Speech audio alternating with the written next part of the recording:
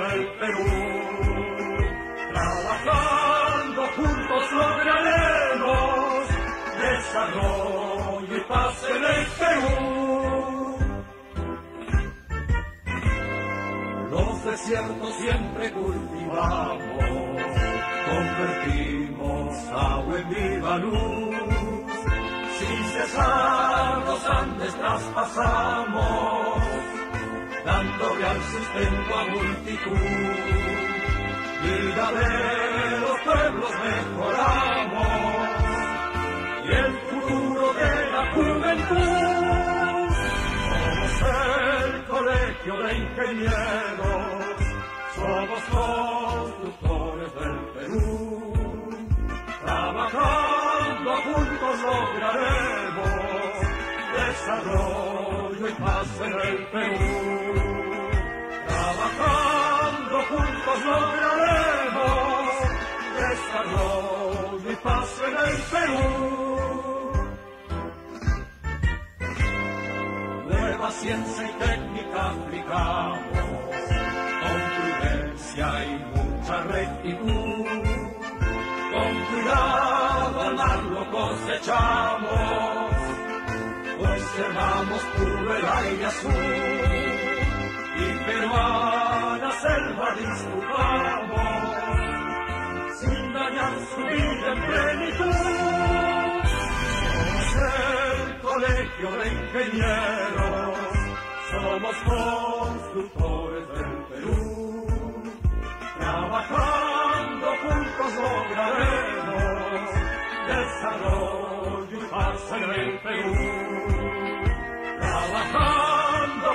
Juntos lograremos desarrollo y paz en el Perú.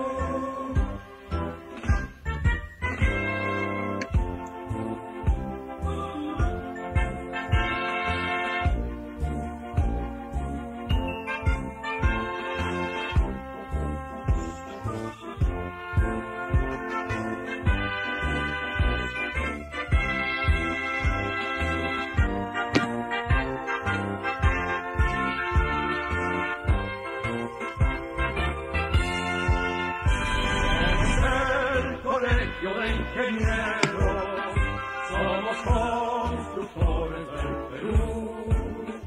Trabajando juntos lograremos desarrollo y paz en el Perú. Trabajando juntos lograremos desarrollo y paz en el Perú.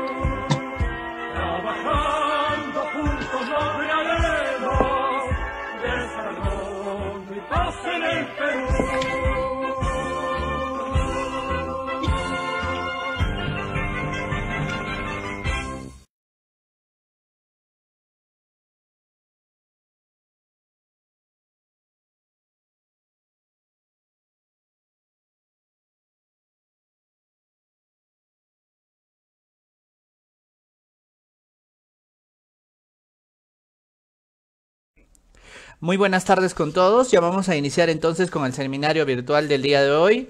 Hoy día tenemos al ingeniero Luis Frances que va a ser presentado por nuestro presidente del capítulo de Ingeniería Civil del Consejo Departamental de Lima del Colegio de Ingenieros del Perú, el ingeniero Elías Tapia Julca, que ya está con nosotros. Y el día de hoy vamos a ver este tema ah, llamado Defensas Ribereñas problemática y solución. Para presentarlo ya está con nosotros el ingeniero Elías. Ingeniero Elías, eh, muy buenas tardes, adelante. Buenas tardes. Muchas gracias, Cristian. Buenas tardes, colegas. Buenas tardes, ingenieros. Eh, en primer lugar, eh, quisiera transmitirle el saludo de la Junta Directiva de todos los capítulos de Ingeniería Civil a nivel nacional. En esta oportunidad tenemos un tema muy pedido por todos ustedes referido a defensas ribereñas. Pero eh, antes de eso quisiera eh, compartir con ustedes eh, lo siguiente. A partir del 5 de julio vamos a reanudar nuestros cursos de capacitación, nuestros cursos largos. y del 5, del 6 al 10 tenemos un primer curso que es encofrados, tecnología de encofrados y andamios en edificaciones. Es un curso muy importante. Ustedes saben que en los cursos de pregrado, en realidad no eh, se enseñan este, estos cursos. En los cursos de posgrado tampoco, según lo que hemos estado eh, viendo las ofertas de las eh, universidades. Y tampoco hay muchos cursos que de este tipo que se puedan dictar de, de manera masiva. Entonces, para este curso. Hemos convocado al ingeniero Alex Jiménez Enciso, que es un experto, tiene un libro publicado eh, sobre encofrados, estuvo colaborando con nosotros también en una de las conferencias en esta jornada de la cuarentena, eh, pero eh, con dos horas ustedes saben que no es suficiente, así que vamos a destinarle 15 horas para un curso que se va a dictar entre el 6 y 10, es un curso completo eh, y el costo es de 150 soles, incluye impuestos y pueden inscribirse a través del correo del, capítulo. Y después de eso, la semana siguiente, de el 13 al 17 también, que es el de costos, presupuestos, eh, valorizaciones de obras públicas. Ya hay, si bien es cierto, eh, ese tema, eh, todos los ingenieros eh, lo conocen. Eh, ustedes saben que hay mucha conflictividad en los contratos de obra, a veces en el tema de los reajustes, a veces en el tema de las deducciones, aplicación correcta de las fórmulas polinómicas. Entonces, para disminuir estas controversias, porque es importante ahora que ya estamos saliendo de la, de la cuarentena, las obras tenemos que hacerlo más rápido, tenemos que minimizar todos los factores de controversia. Entonces, es importante eh, seguir eh, capacitándonos y para eso, repito, del 13 al 17 tenemos el curso de eh, costos, presupuestos, valorizaciones, que incluye también la venta de un software, ¿no? El costo del software del sistema SRW7, que es una nueva edición, está a 160 soles y la eh, participación en el curso y la certificación por el Colegio de Ingenieros eh, está a, 70 soles. Así que son eh, costos económicos y quedan todos ustedes invitados. Adicionalmente, también quería reiterarles lo que ya comunicamos al inicio de la semana.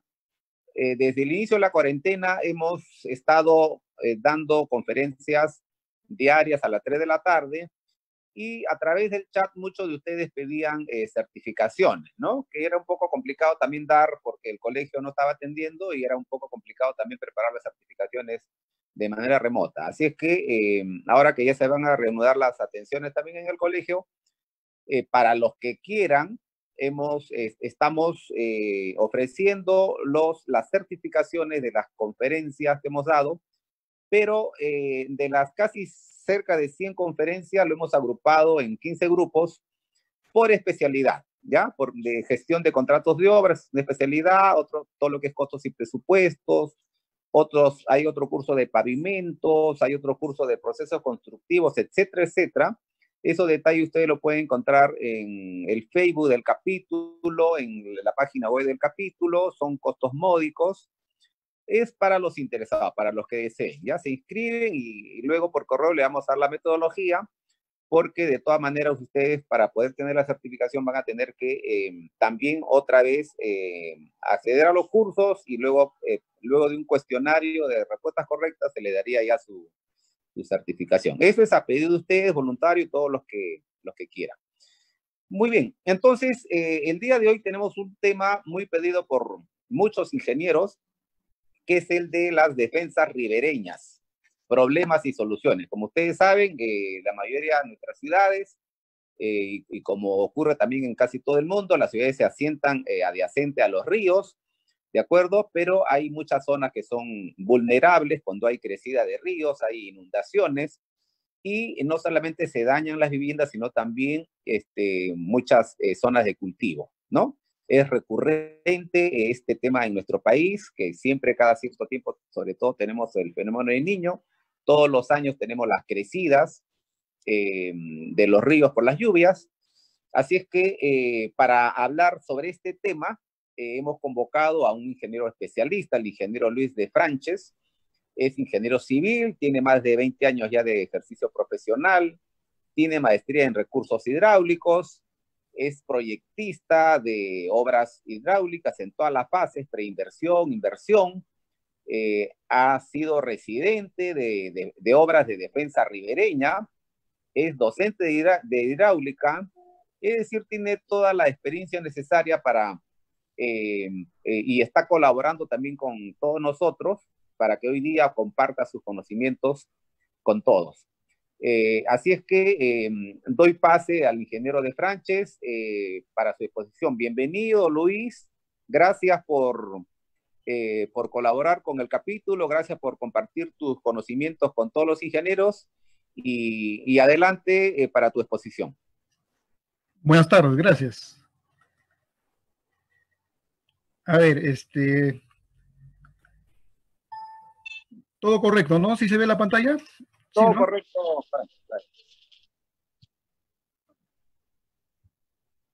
Ah, no, ah, no se ve.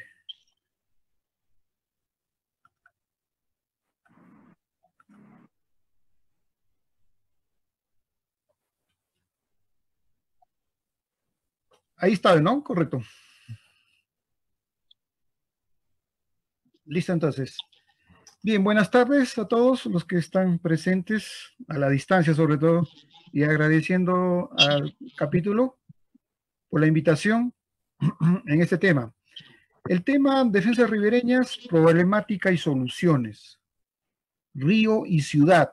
¿Por qué hablo de río y ciudad? Porque vamos a hablar específicamente el nexo que existe eh, entre el río y la ciudad. Pues un río atraviesa la ciudad y vamos a hablar de esa problemática. Y parte de esto está en la ingeniería de ríos, por eso se llama defensas ribereñas, problemática y soluciones en esta parte. ¿Qué vamos, qué vamos a ver en, este, en esta oportunidad? Vamos a hablar un poco de los ríos, clasificación básica de los ríos, hidrología y morfología fluvial. También hablaremos un poco de los torrentes y las ramplas, o propiamente las quebradas, su, la problemática también de las defensas ribereñas, a, a, a algunos ríos, quebradas, también voy a hablar algo de los puentes, de, de, estos ríos, los ríos San Lucas y el río Machcón acá en Cajamarca, porque yo radico en Cajamarca. Pero la problemática que, que, plan, que, que se da es la misma a nivel nacional, lo vamos a ver conforme avancemos en esta, en esta ponencia. También veremos una parte del niño costero que también tuvo su relación con las defensas ribereñas. Y, lógicamente, a esta problemática hay que darle algunas soluciones. Pero, ¿cuál es esa solución? La solución nos va a dar la ingeniería de ríos, ¿no? La ingeniería de ríos eh, para poder solucionar esta problemática. Mencionaremos algo de las fajas marginales, que el ANA tiene su reglamento, eh, cómo se aplica, eh, que también podría ser una, una alternativa de solución para este problema de las defensas ribereñas y para no invadir el cauce del río. Finalmente hablaré de un puente empírico que realicé hace varios años acá en, en un río de la ciudad de Cajamarca. Bueno, empecemos. Eh, al hablar de ríos, este, la mayoría ha visto un río, pues, por ejemplo, en esta imagen que ustedes están viendo acá, eh, es una fotografía, una ortofoto en realidad de un dron habíamos hecho un levantamiento topográfico con drones de un tramo del río. Entonces, miren, los ríos en realidad son, es un elemento natural, ¿no? Recoge las aguas de la cuenca y las transporta en lámina libre hasta otro río o hasta su desembocadura en el mar, puede ser, ¿no? Entonces, la ingeniería de ríos trata pues de las intervenciones humanas en los ríos, sobre todo para el aprovechamiento de los recursos hídricos para el consumo humano, agricultura eh, y otras actividades. Y también la disminución de los riesgos de daños por inundaciones. ¿no? Aparte de, los beneficios que nos da los recursos hídricos, eh, hay problemas de las inundaciones, como mencionó el ingeniero Tapia. Entonces, vamos a hablar de esto, ¿no? De, esta, de este tema tan importante que siempre se presenta todos los años en nuestros ríos. Entonces, miren, hay que diferenciar bien entre un canal y un río, ¿no? Eh, los ríos este, y los canales, pues, conducen agua en régimen en lámina libre. Pero hay diferencias entre ellos, ¿no? Como ustedes pueden ver acá en las diapositivas, acá tengo, por ejemplo, una fotografía del canal que atraviesa la Universidad Nacional de Cajamarca, y acá tengo otra fotografía de un río, que este es el río Mashcón, ¿no? Miren, hay una gran diferencia entre estas dos eh, estructuras, se podría decir. Una es natural y otra fabricada por el hombre. Miren, el canal eh, es un proyecto, pues, está diseñado para un caudal, tiene un régimen de explotación, un trazado, un revestimiento y una sección tipo, ¿no? Entonces, prácticamente eh, hay una gran diferencia, ¿no? y tengan en cuenta que el canal, pues, eh, no, se evita que haya bastantes sedimentos para que trabaje de una manera mejor, como diseñar decantadores o sedimentadores y evitar que haya sedimentos en el canal. En cambio, los ríos, los ríos, pues, este, no están determinados, es algo natural. Eh, tienen sus propias secciones y trabajan con un caudal que es variable variable con el tiempo. Hay épocas de lluvia en el año y el río se carga. Hay épocas de estiaje, el río desciende. Entonces, su régimen hidrológico de la cuenca, pues, varía, varía a lo largo del tiempo.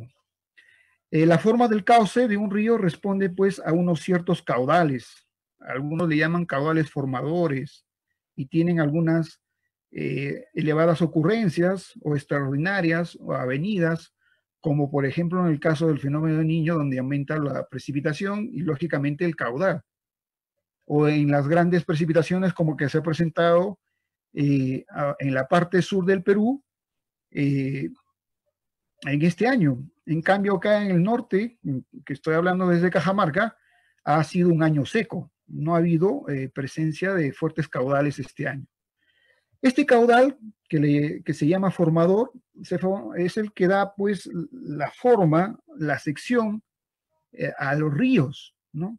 Debido a estas crecidas que se presentan, pero mayormente el que da la forma al río no es el de la máxima avenida, sino el caudal que da la forma al río y puede transformar su naturaleza. Podemos hablar de algunas formas meandriformes o meandros, y da pues un comportamiento dinámico y unas ciertas características principales y ciertos grados de libertad. O sea, el río es un ente dinámico, se puede mover en planta, ¿sí? puede volver a, su origen. Entonces hay ciertos conceptos que lo vamos a ver viendo a lo largo de esta presentación. Miren, otra diferencia importantísima, ¿por qué los ríos son importantes? Los ríos son importantes porque interrelacionan con el medio ambiente, a diferencia del canal. Eh, ¿Cómo relacionan eh, con el medio ambiente? A través de las aguas subterráneas o el famoso flujo base. Algunos eh, de repente han sido observadores y observan en los ríos, mayormente a los costados de los ríos hay presencia de vegetación. Eso se debe pues a que el río es alimentado por las aguas subterráneas y llegan al río por topografía, por gravedad. Y es ahí donde, por ejemplo, el río tiene agua en época de estiaje. Y a eso se le llama el famoso flujo base, aguas subterráneas, ¿sí? Que a veces se mencionan en algún curso de hidrología e hidrogeología. Lo que no sucede con el canal, pues el canal es prácticamente revestido. No hay nada de ingreso de agua subterránea al canal, lo que sí sucede con el río. Miren, eh, acá tengo este, una presentación de un trabajo que estuve como ingeniero residente eh, en la municipalidad de Cajamarca ya hace mucho tiempo.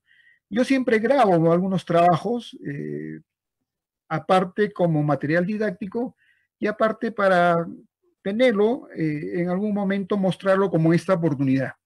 Entonces, los que hemos trabajado en defensas ribereñas, sobre todo defensas ribereñas un poco grandes, Acá, por ejemplo, tengo una imagen, tengo una excavadora y es un video. ¿ya? Este es un video. Estamos haciendo las zanjas para las zapatas de las defensas ribereñas acá en el río Mashcón.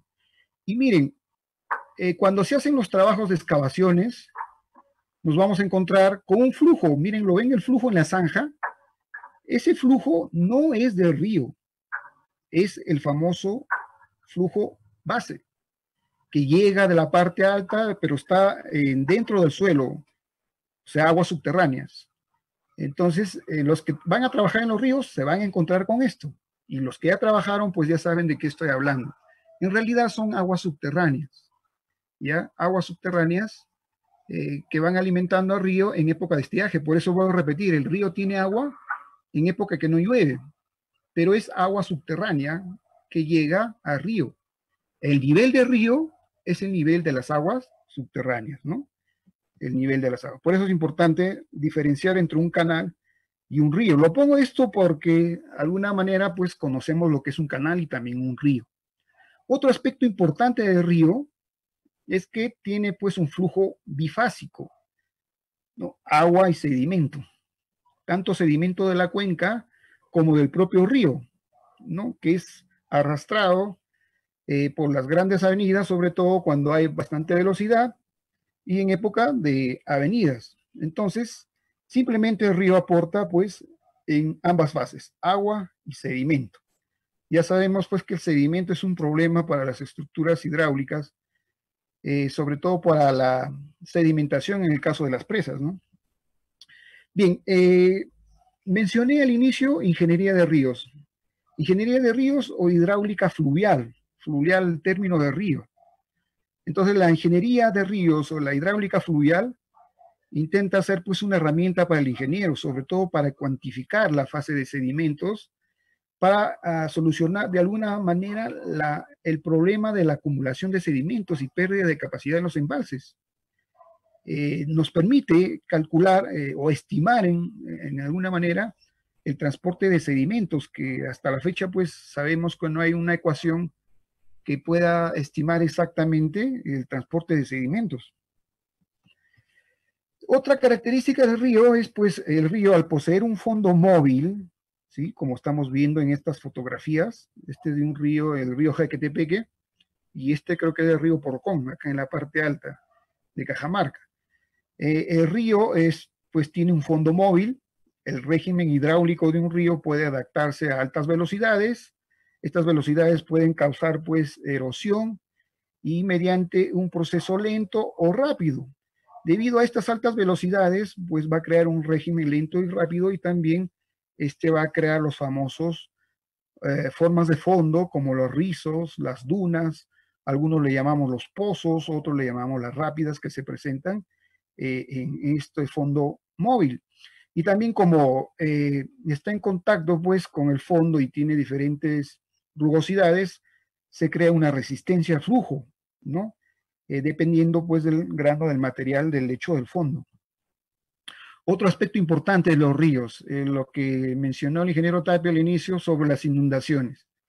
Como la lluvia, los caudales, en hidrología nosotros le llamamos variables aleatorias. No sabemos exactamente eh, cuándo va, qué caudal va a venir de acá el próximo año, de acá cinco años, de acá diez. Entonces son variables aleatorias.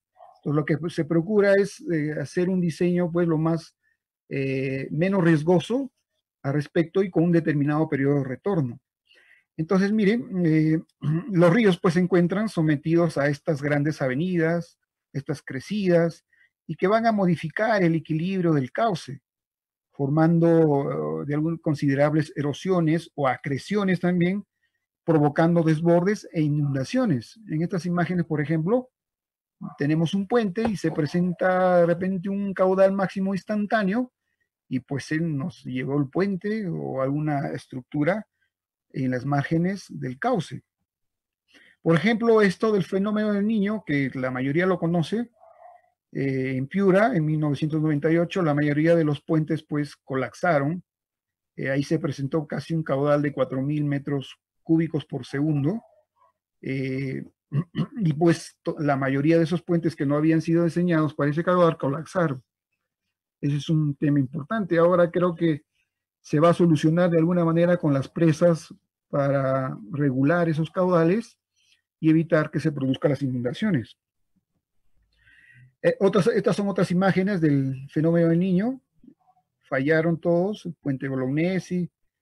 Estamos recordando lo que se presentó eh, en esas épocas, pues ahora ya eh, un caudal de 4.000 metros cúbicos, como les había mencionado. Otro aspecto de los ríos es que también los ríos cambian o, o regresan a su estado a, su estado original, digamos, ¿no? O por donde pasaron por alguna vez. Entonces, por ejemplo, acá el caso del puente Carrasquillo, que uno, eh, antes de que se presente el fenómeno niño normal, hubo el fenómeno niño y cambió de sitio y el puente quedó, eh, digamos, como un elefante blanco, ¿no? Se desfasó. Me refiero al río, pues, ¿no? Entonces el río puede cambiar y regresar nuevamente por donde alguna vez pasó o digamos a su estado natural. Acá hay unas imágenes también de cómo quedó este puente, puente Carrasquillo. Bien, entonces, eh, como ustedes podrán darse cuenta, pues los ríos cambian, en plantas sobre todo. Acá tenemos algunas imágenes, por ejemplo, cómo ha ido cambiando. Eh, este es un río, por ejemplo, en, el número uno, en este lado, en esta imagen, el 2 y el 3, va moviéndose el río. A ese movimiento en planta, ¿sí? A ese movimiento causado por diferentes sucesos extraordinarios, ya sea en forma lenta, en forma gradual, es lo que le llamamos cambios en planta. Estos cambios en plantas viene a ser el primer grado de libertad que tienen los ríos, ¿no? En una concepción de, la dinámica de los ríos. Otro aspecto, otro segundo grado de libertad que se presenta en los ríos son eh, debido pues a los contornos eh, de las orillas y que se producen pues erosión y transporte de partículas, cambian la sección. Por eso la sección no es uniforme en los ríos. Debido pues a las grandes avenidas o debido a la velocidad, entonces hay un cierto cambio. A ese cambio en la sección vendría a ser el segundo grado de libertad. Uno es en planta y otro es en sección. El tercer grado se refiere eh, conjuntamente con un canal. El tercer grado de libertad se refiere pues a la posición de la superficie libre en el régimen de lámina libre. ¿Ya? Eh, otra característica también de los ríos en altas velocidades, como ya mencioné, va a haber pues este, la creación de, en el régimen lento se van a crear los pozos y en el régimen rápido lo que le llamamos los rápidos. ¿Sí? Acá podemos apreciar en, esta, en este croquis estos pozos y acá las rápidas, ¿no? Debido a las altas velocidades que se presentan. Lo que no sucede en un canal que tiene pues un nivel y una pendiente estable. Miren, esta diapositiva es importante, ¿ya? Muy importante, porque eh, hace un rato hablé sobre eh, el flujo base. Este es como si, esta, esta diapositiva es como si hubiéramos hecho un corte a la sección de un río, ¿ya? Y lo voy a describir. Miren, eh, si ustedes se dan cuenta, en la parte central tenemos este, vamos a hacerlo con el puntero. Acá en la parte central tenemos el río, ¿sí? Y acá en la topografía tenemos un cerro al lado izquierdo y de igual manera al lado derecho. Y tenemos la precipitación, la lluvia, ¿sí? La lluvia.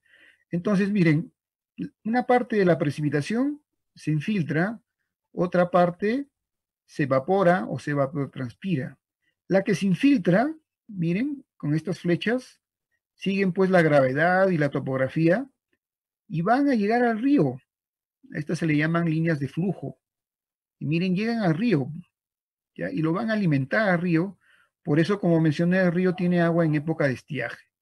El nivel, el nivel del río, miren, el nivel del río es el nivel del acuífero libre, ¿sí? O el nivel de las aguas subterráneas.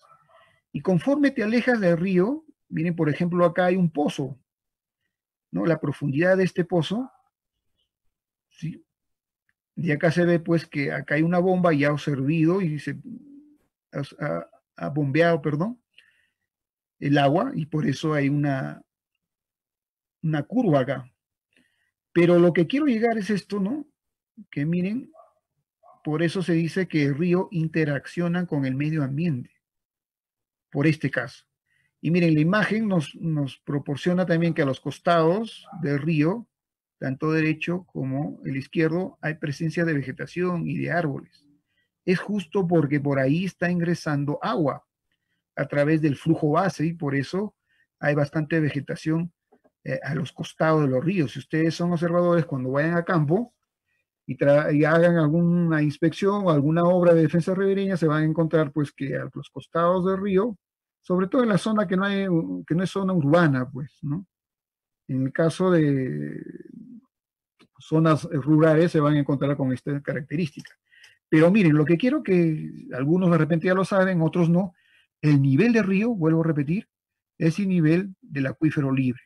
Entonces, alguna vez le dicen, ingeniero, quiero hacer un pozo, ¿qué profundidad puedo dar? No tengo agua. Ah, entonces, si, si conoces algo de hidrología o hidrogeología, pues tienes que observar a tu alrededor y ver si hay alguna quebrada y un río.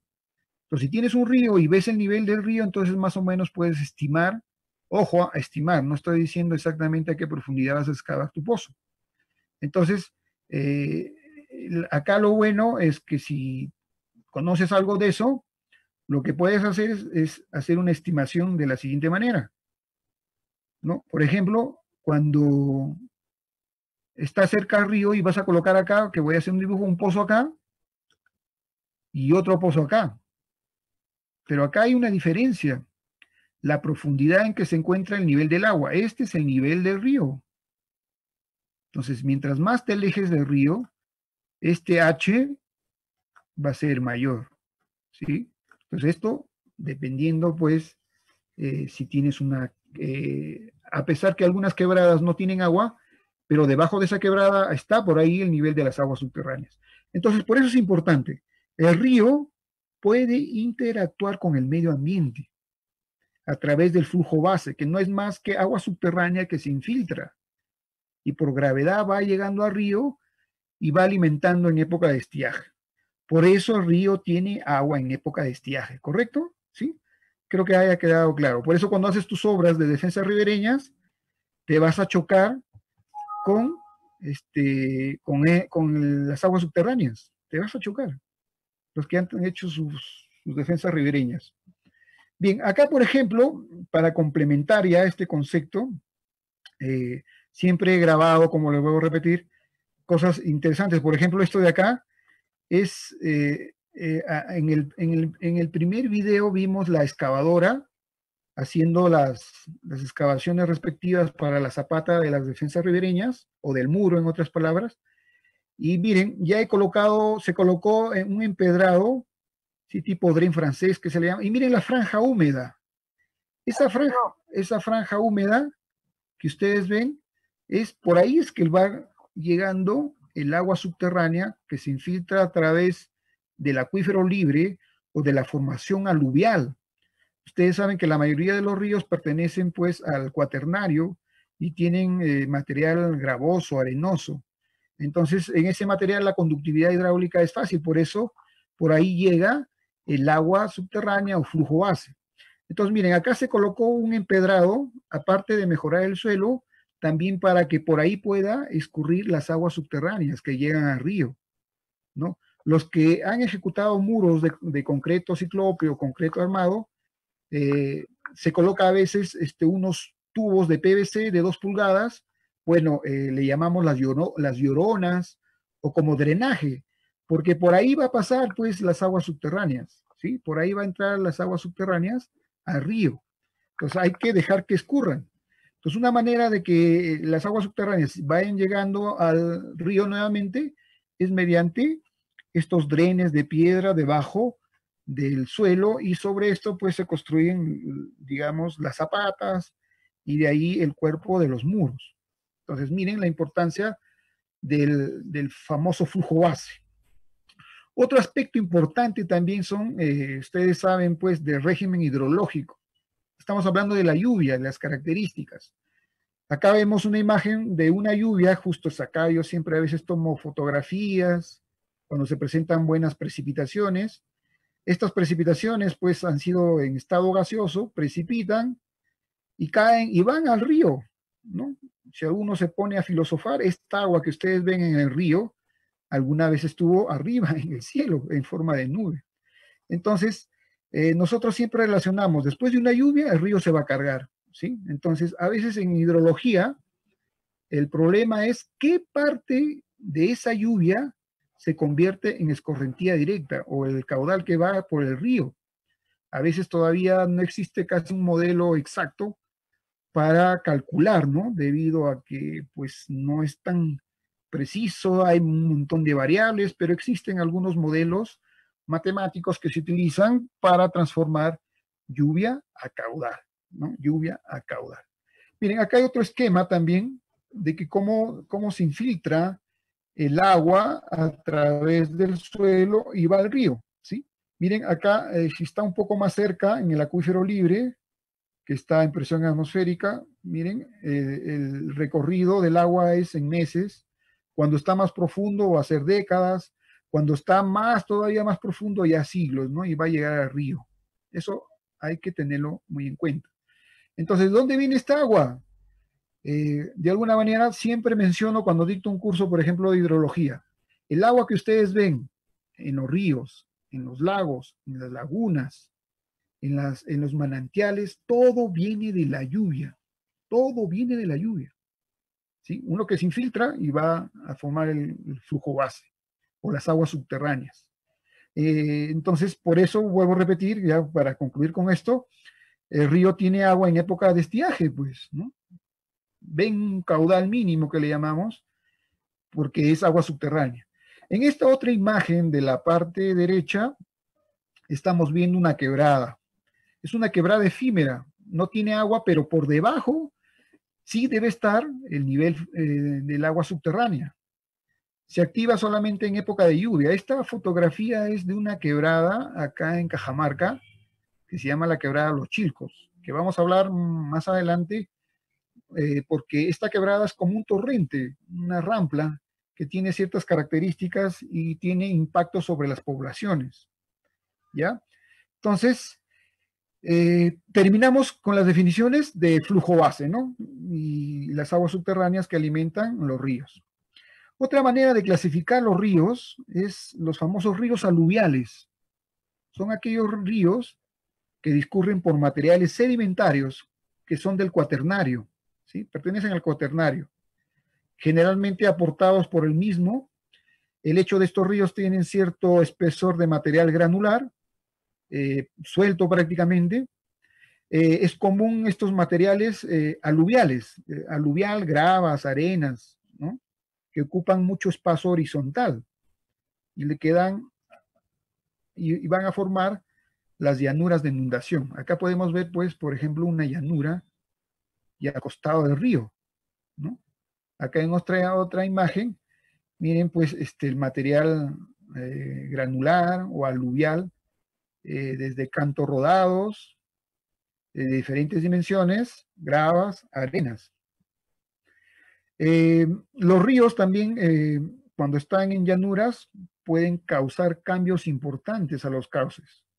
Los problemas más importantes que afronta la ingeniería fluvial se refiere a estos ríos de estas características, porque en estos ríos, pues, donde se asienta la mayoría de las actividades humanas o las poblaciones.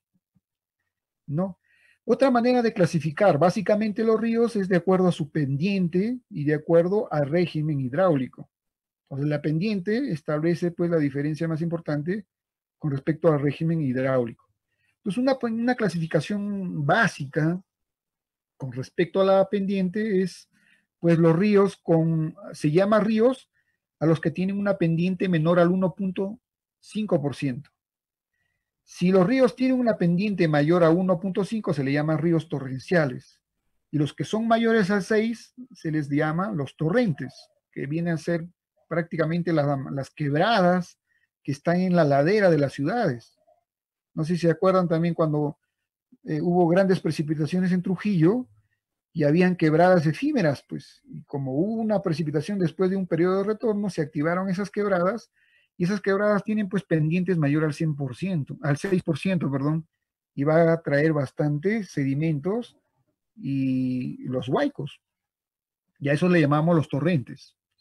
Otro papel importante de la clasificación de los ríos, bueno, los que hemos trabajado en ríos, podemos diferenciar diferentes partes de acuerdo a la geología y de acuerdo a la ubicación. En cabecera de cuenca eh, va a haber mayor pendiente, va a haber mayor erosión y el material es un poco más grueso. Unas rocas van a encontrar mayormente en cabecera de cuenca. De ahí bajando de la cuenca, de la parte alta, nos vamos a encontrar en la parte media de la cuenca. ¿sí? En la parte media. Este material ya es un poco medio fino. Acá podemos ver en, las fotografías, eh, en cabecera de cuenca, los afluentes. Acá estamos hablando ya de la parte media. Miren, el diámetro de la partícula ya cambia. Y después tenemos lo que le llamamos este, la desembocadura, donde prácticamente la pendiente es menor y también el material es más fino, pues, ¿no? Más fino. Otra característica importante eh, es la hidrología. Hidrología fluvial, o sea, hidrología al río. Mm, trata mayormente de, determinar los caudales, tanto caudales, podríamos decir caudales mínimos, caudales medios o caudales máximos. Para el caso de defensas ribereñas, a nosotros nos interesan los caudales máximos. Y estos caudales pues tienen un origen o un régimen hidrológico pluvial, nival, pluvio-nival. O sea, me refiero a que uno puede ser de origen exclusivamente de la lluvia, otro por eh, el derretimiento de la nieve, o ambos, agua o nieve, y otros pues de origen tropical o monzónico. Entonces, una manera de, caracterizar un río es mediante la famosa curva característica. No sé si habrán escuchado alguno de la famosa curva característica o curva de, frecuencias que se puede elaborar a través de datos de caudales medios de un río. Eh, mayormente a veces este, para poder eh, determinar con qué frecuencia se puede presentar un caudal, ¿no? Y esta curva, curva de, persistencia o, permanencia que se llama también, nos permite caracterizar un río. Eh, otro aspecto también es el problema, como se dijo, ¿no? Las avenidas máximas, los, los los caudales máximos instantáneos que afectan a las estructuras como carreteras, defensas ribereñas, eh, ciudades. ¿no? Esto, esto pues se aleja de la famosa curva característica a partir de los caudales medios. Acá estamos hablando de datos de caudales máximos, que es con lo que se diseña nuestras defensas ribereñas, puentes o cualquier estructura dentro del cauce del río. E, este, este caudal máximo está relacionado a, pues a, un periodo de retorno o una frecuencia y se estudia mediante modelos probabilísticos, los que han hecho pues estudios hidrológicos y han utilizado los diferentes modelos probabilísticos, el log normal de dos parámetros, el GAME, el Pearson, etcétera, y el que mejor se ajusta, en este caso la mayoría, se ajusta a un modelo Gamble, ¿no? Y con ese modelo Gamble, eh, tú calculas un caudal máximo para un determinado periodo de retorno. Entonces, un caudal tiene periodo de retorno T si la probabilidad de ser superado en un año es igual a 1 sobre el tiempo de retorno. O sea, la probabilidad es igual a 1 sobre el tiempo de retorno. Y también el tiempo de retorno es igual a 1 sobre la probabilidad. ¿no? Acá ya estamos hablando de probabilidades. En hidrología necesitamos de las probabilidades. ¿Por qué? Porque los caudales, las precipitaciones son variables aleatorias. Y tenemos que recurrir a las probabilidades con una con un porcentaje pues de ocurrencia y también con un tipo de riesgo. Lo menciono nada más porque esto se ve en un curso de hidrología, pues, ¿no? Se ve en, un curso de hidrología. Otro aspecto importante es el hidrograma. ¿Qué es el hidrograma? El hidrograma es el caudal a través del tiempo. Entonces, el hidrograma de una avenida máxima es importante en el estudio de un río, pues te puede indicar eh, eh, la curva de ascenso, como podemos ver acá, y de acuerdo a la forma que tiene la cuenca, este hidrograma también va a tener, pues si es un poco alto, si es un poco alargado. Entonces la duración de los caudales está relacionado también con este tipo de curvas en la parte de ascenso y asimismo que eh, va a tener influencia sobre la erosión en los cauces de acuerdo a los hidrogramas que se van a dar de acuerdo a la forma de la cuenca. Bien, la diversidad de los ríos es bastante. Entonces, eh, es diversa porque no existen dos lugares iguales en, clima, en relieve, en geología, en hidrología. Por eso se dice que son, existen diversidad de ríos debido a que no hay dos lugares iguales, pues varía en clima, en precipitación también. Eh, sin embargo, hay algunas características morfológicas, se refiere a la forma, que merecen pues y tienen eh, importancia, eh, sobre todo para los ingenieros que se dedican a, la ingeniería de los ríos o trabajar en los ríos. La forma de la cuenca también es importante, eh, son conceptos básicos que estoy tratando, porque esto se ve, pues, a ver, estudiar la hidrología, toda la parte de parámetros geomorfológicos, Acá lo importante es este, la forma de la cuenca. Miren, acá tenemos una cuenca un poco redonda y una cuenca alargada. Esto tiene influencia sobre todo para eh, eh, la cantidad de caudal que va a producir esta cuenca. Entonces, la escorrentía, que le llamamos el caudal que está en los ríos, la escorrentía de la cuenca eh, más ancha llegará más rápidamente a la salida de la cuenca. Eh, además, es probable que el agua proveniente de los diferentes lugares de esta cuenca uh, alcancen la salida al mismo tiempo, lo cual produce mayor caudal. O sea, en otras palabras, si una cuenca, como estamos viendo en esta imagen, tiene esta forma, el caudal va a ser un poco mayor y va a ser más rápido, pues, a diferencia de una cuenca que es un poco más alargada y el recorrido, el recorrido de la partícula hidráulicamente más alejada eh, es más largo y por lo tanto el caudal o el hidrograma es más extendido, lo que no sucede con una cuenca casi redonda o un, poco eh, ancha. Esto tiene que ver pues con el tiempo de concentración. Eh, ustedes saben, y lo manifiesto, ¿cuándo se produce el caudal máximo en una cuenca? ¿Cuándo se produce el caudal máximo en, una cuenca? Eh, o perdón, en un punto o una estación de aforo, eh, se produce el caudal máximo cuando el tiempo de duración de la lluvia es igual al tiempo de concentración y se, produce un equilibrio. Tanto el, caudal de entrada como el caudal de salida se produce un equilibrio. Es decir, cuando el tiempo de concentración, o perdón, cuando el tiempo de duración de la lluvia es igual al tiempo de concentración, se produce el famoso caudal máximo. Otra, aspecto, otro aspecto importante sobre la cuenca es la red de drenaje. La red de drenaje también nos da la forma del hidrograma, o sea, el hidrograma, el caudal a través del tiempo. Miren, si tu cuenca tiene bastante drenaje, es pues una característica importante de eh, evacuar la escorrentía. Miren, en esta diapositiva en la margen derecha vemos una cuenca y vemos unas líneas rojas aparte de las azules. Las líneas rojas se sobreentiende que tienen mayor cantidad de drenaje y las de azul menos drenaje. Entonces, miren cómo se comporta el caudal o el hidrograma. Miren, mayor cantidad de drenaje, miren el hidrograma es más,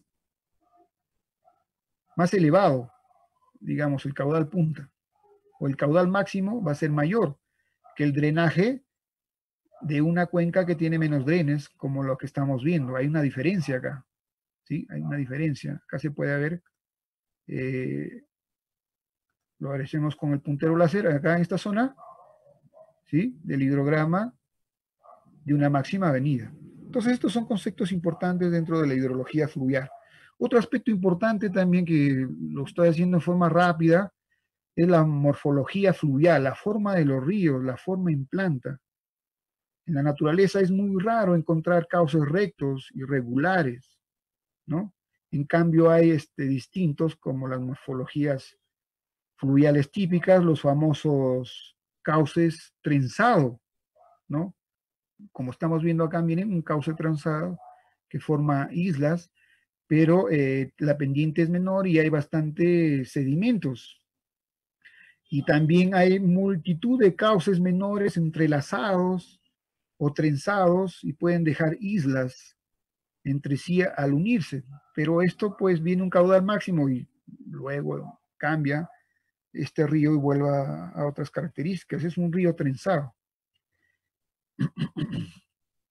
Otro, otro aspecto de estos ríos es que son, pues, este, son cauces inestables, ¿sí? pueden cambiar, son divagantes, presenta gran capacidad de transporte de sedimentos, una corriente muy cargada de sedimentos es propensa a formar un cauce trenzado, cauce trenzado.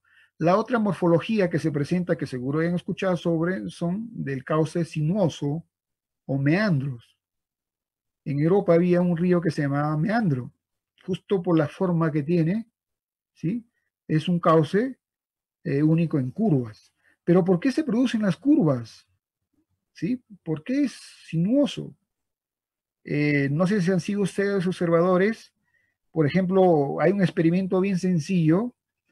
Eh, por ejemplo, si tienen un lavatorio o un lavadero, yo recomiendo que pongan el tapón y llenen el lavadero o lavatorio. ¿sí? Lo ponen en el tapón y lo llenan de agua. Una vez que está lleno de agua, destapen el tapón, ¿ya? Y vean en qué sentido gira el agua cuando se va evacuando, ¿ya? Entonces, ustedes van a ver, si hacen el experimento tres, cuatro, cinco veces, van a ver que siempre se va a dar en un solo sentido. ¿Pero por qué? Esto se debe, pues, a la rotación de la Tierra, ¿ya? En el hemisferio sur es en el sentido horario y en el hemisferio norte en el otro sentido. Entonces, eh, no sé si habrán escuchado eh, una conferencia, o, perdón, o, habrán leído sobre eh, Einstein y el origen de los meandros. Einstein tuvo un hijo que se llama Hans Albert Einstein, ingeniero hidráulico, que también trabajó acá en el Perú hace, en la década de la, presa de la, construcción de la presa de Poechos, hizo los cálculos de los transportes de sedimentos. Y el ingeniero Arturo Rocha, de fallecido, pues tiene un artículo sobre la formación de los meandros, Einstein y la formación de los meandros, y justo va al caso, eh, debido pues a la rotación de la Tierra, es que eh, en el hemisferio sur las excavaciones es al lado izquierdo, en el río, y en el hemisferio norte, en el derecho, debido pues a la famosa rotación de la Tierra. Es un artículo muy interesante que, que escribió el ingeniero Arturo Rocha sobre la formación de meandros y está en internet, ¿no? Y menciona a Albert Einstein y menciona a, no menciona, hace la traducción es muy bonito ese artículo sobre la formación de los meandros y también menciona al hijo de Albert Einstein sobre la participación en, los proyectos acá en, el Perú y también el primero creo modelo, modelo hidráulico de ríos que se hizo en, la UNI, en, la, en, el laboratorio de hidráulica. Otro aspecto importante también es la forma en planta, la forma sinuosa, que está acompañada de una simetría de las secciones. Entonces, miren, en esta imagen del lado derecho vemos un tramo sinuoso del río. Y las líneas punteadas es el Tanwet, son los puntos de mayor profundidad. ¿ya? Y miren, acá en la curva izquierda, la profundidad es mayor en esta parte que se le llama la parte cóncava. De ahí sube, acá se crea, después del pozo, se crea una subida, una alzada, de ahí vuelta baja y ahí sigue. Entonces crean tres secciones, la sección 1, 2, 3. En esta zona, en esta zona que estoy señalando, ahí es donde, eh, si ustedes observan en los ríos, donde va a haber bastante sedimentación, ¿ya? Acá se crea, pues, debido a la rotación de la Tierra, una socavación, y lógicamente va a depender también del material que tenga el río, pues de repente acá es un poco rocoso, eh, ahí pues no va a haber eh, nada que ver con el movimiento de la Tierra. Entonces, eh, hay algunas consideraciones el, desde el punto de vista del, tipo de suelo que tiene o la formación que tiene el río, ¿no? Entonces, a esta línea de mayor profundidad en un río sinuoso, pues se le llama el Tanwe. Y miren, este, esta sección sinuosa del río tiene pues diferentes secciones. la sección 1, 1 prima, la sección 2 prima y 3 prima. Entonces podemos observar, miren, a la margen, la sección 1 prima, miren, la, la mayor profundidad en esta forma convexa es en la parte izquierda y de ahí va subiendo, donde acá se, se acumulan los sedimentos. Luego en la sección 2, 2 prima, miren, la sección es variante ya, ¿no? Varía un poco, hay un poco de sedimentación o acreción.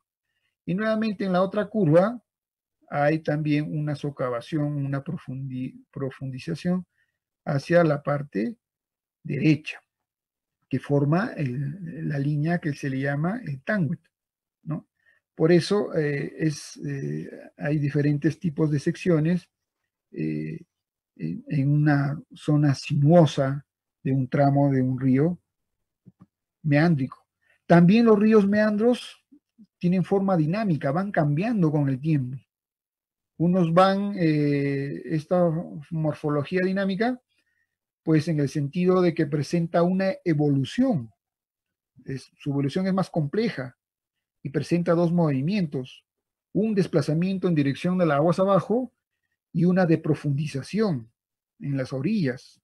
Por eso a veces eh, cuando se construye un puente hay que tener mucho cuidado pues que el meandro va a cambiar y de repente va a llegar y, te va a destruir de repente bien la vía o de repente el mismo puente. Hay que tener mucho oh, cuidado con ubicar un puente en un río eh, tipo meandro.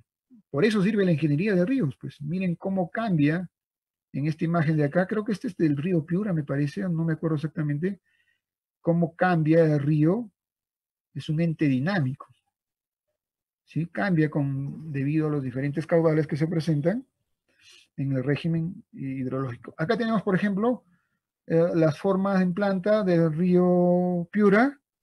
Bueno, yo hice la maestría en la Universidad de Piura y por eso acá hay algunas imágenes que son de la maestría, pues, y bueno, lo comparto también acá, pues porque acá se muestra pues eh, los diferentes cambios o formas de río a través de los años, desde el 1964 al 2000, cómo ha ido cambiando el río a través del tiempo. ¿no? Esto es una imagen. Ahora, una de las ventajas también que, que se tiene son los drones. Con los drones podemos este, monitorear eh, o hacer vuelos de los ríos cada año, cada año y de repente tener unas imágenes, unas ortofotos o ortomosaicos mm, para ver cómo cambia el río, ¿no? Ahora con los drones, para mí los drones ya deben ser una herramienta dentro de la ingeniería de ríos, porque aparte que nos dan la topografía, nos dan este, cómo cambia el río con las imágenes eh, o las ortofotos. Acá tenemos también, por ejemplo, eh, del río Amazonas, en 1948 a 1983. Miren cómo cambia las corrientes. Acá tenemos, este es, eh, miren, en 2016. ¿No? Miren, acá tenía la curva y ahora ya no, se va de frente. Cómo cambian los ríos. Y siempre al lado de un río, pues la ciudad. Imagínense, viene un caudal fuerte, acá se va a inundar, pues chiquitos, ¿no? Me supongo que se está acercando a, la ciudad. Entonces, ¿cómo evitamos que se inunda? A través de las defensas ribereñas.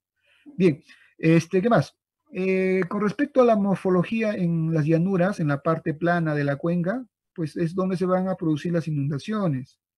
Son áreas próximas al cauce y mayormente son donde se construyen pues las ciudades. Entonces, este, a veces se construye, pues, este, en las márgenes. Ahora ya que el ANA ya tiene el reglamento de las fajas marginales, pero algunos gobiernos ni regionales o, provinciales o, no aplican pues las fajas marginales. Entonces, este, todavía eso hay problemas, pues ahí es donde se producen las famosas inundaciones en la parte de llanuras. ¿no? Eh, en la parte plana. Entonces, esto se debe pues a que hay poca pendiente, con morfología meandriforme, los ríos son aluviales de llanura, gravas, arenas, entonces el, terreno es llano y por lo, tanto pues se producen las inundaciones. Acá tenemos otra, otra morfología de río Tumbes. Miren, acá se puede apreciar con líneas eh, negras, como era antes, y de ahí, eh, primero en el, el pre-niño del 1997, pero miren, acá está la parte del meandro. Este meandro que en el 97 se acercó casi a la carretera panamericana y que podía haber llegado y dañar la carretera panamericana. Pero por suerte no se ha presentado, ¿no? Y acá está, por acá nomás está la ciudad de Tumbes, ¿no? Acá hay otra imagen también. Esto lo he sacado del Google. Y esto también, miren, en 1984 casi se ha acercado a la carretera y acá está la ciudad. Y acá este, ya en el cambio que se produjo con el fenómeno del niño, ya cambió prácticamente. Acá se han hecho bastantes defensas ribereñas eh,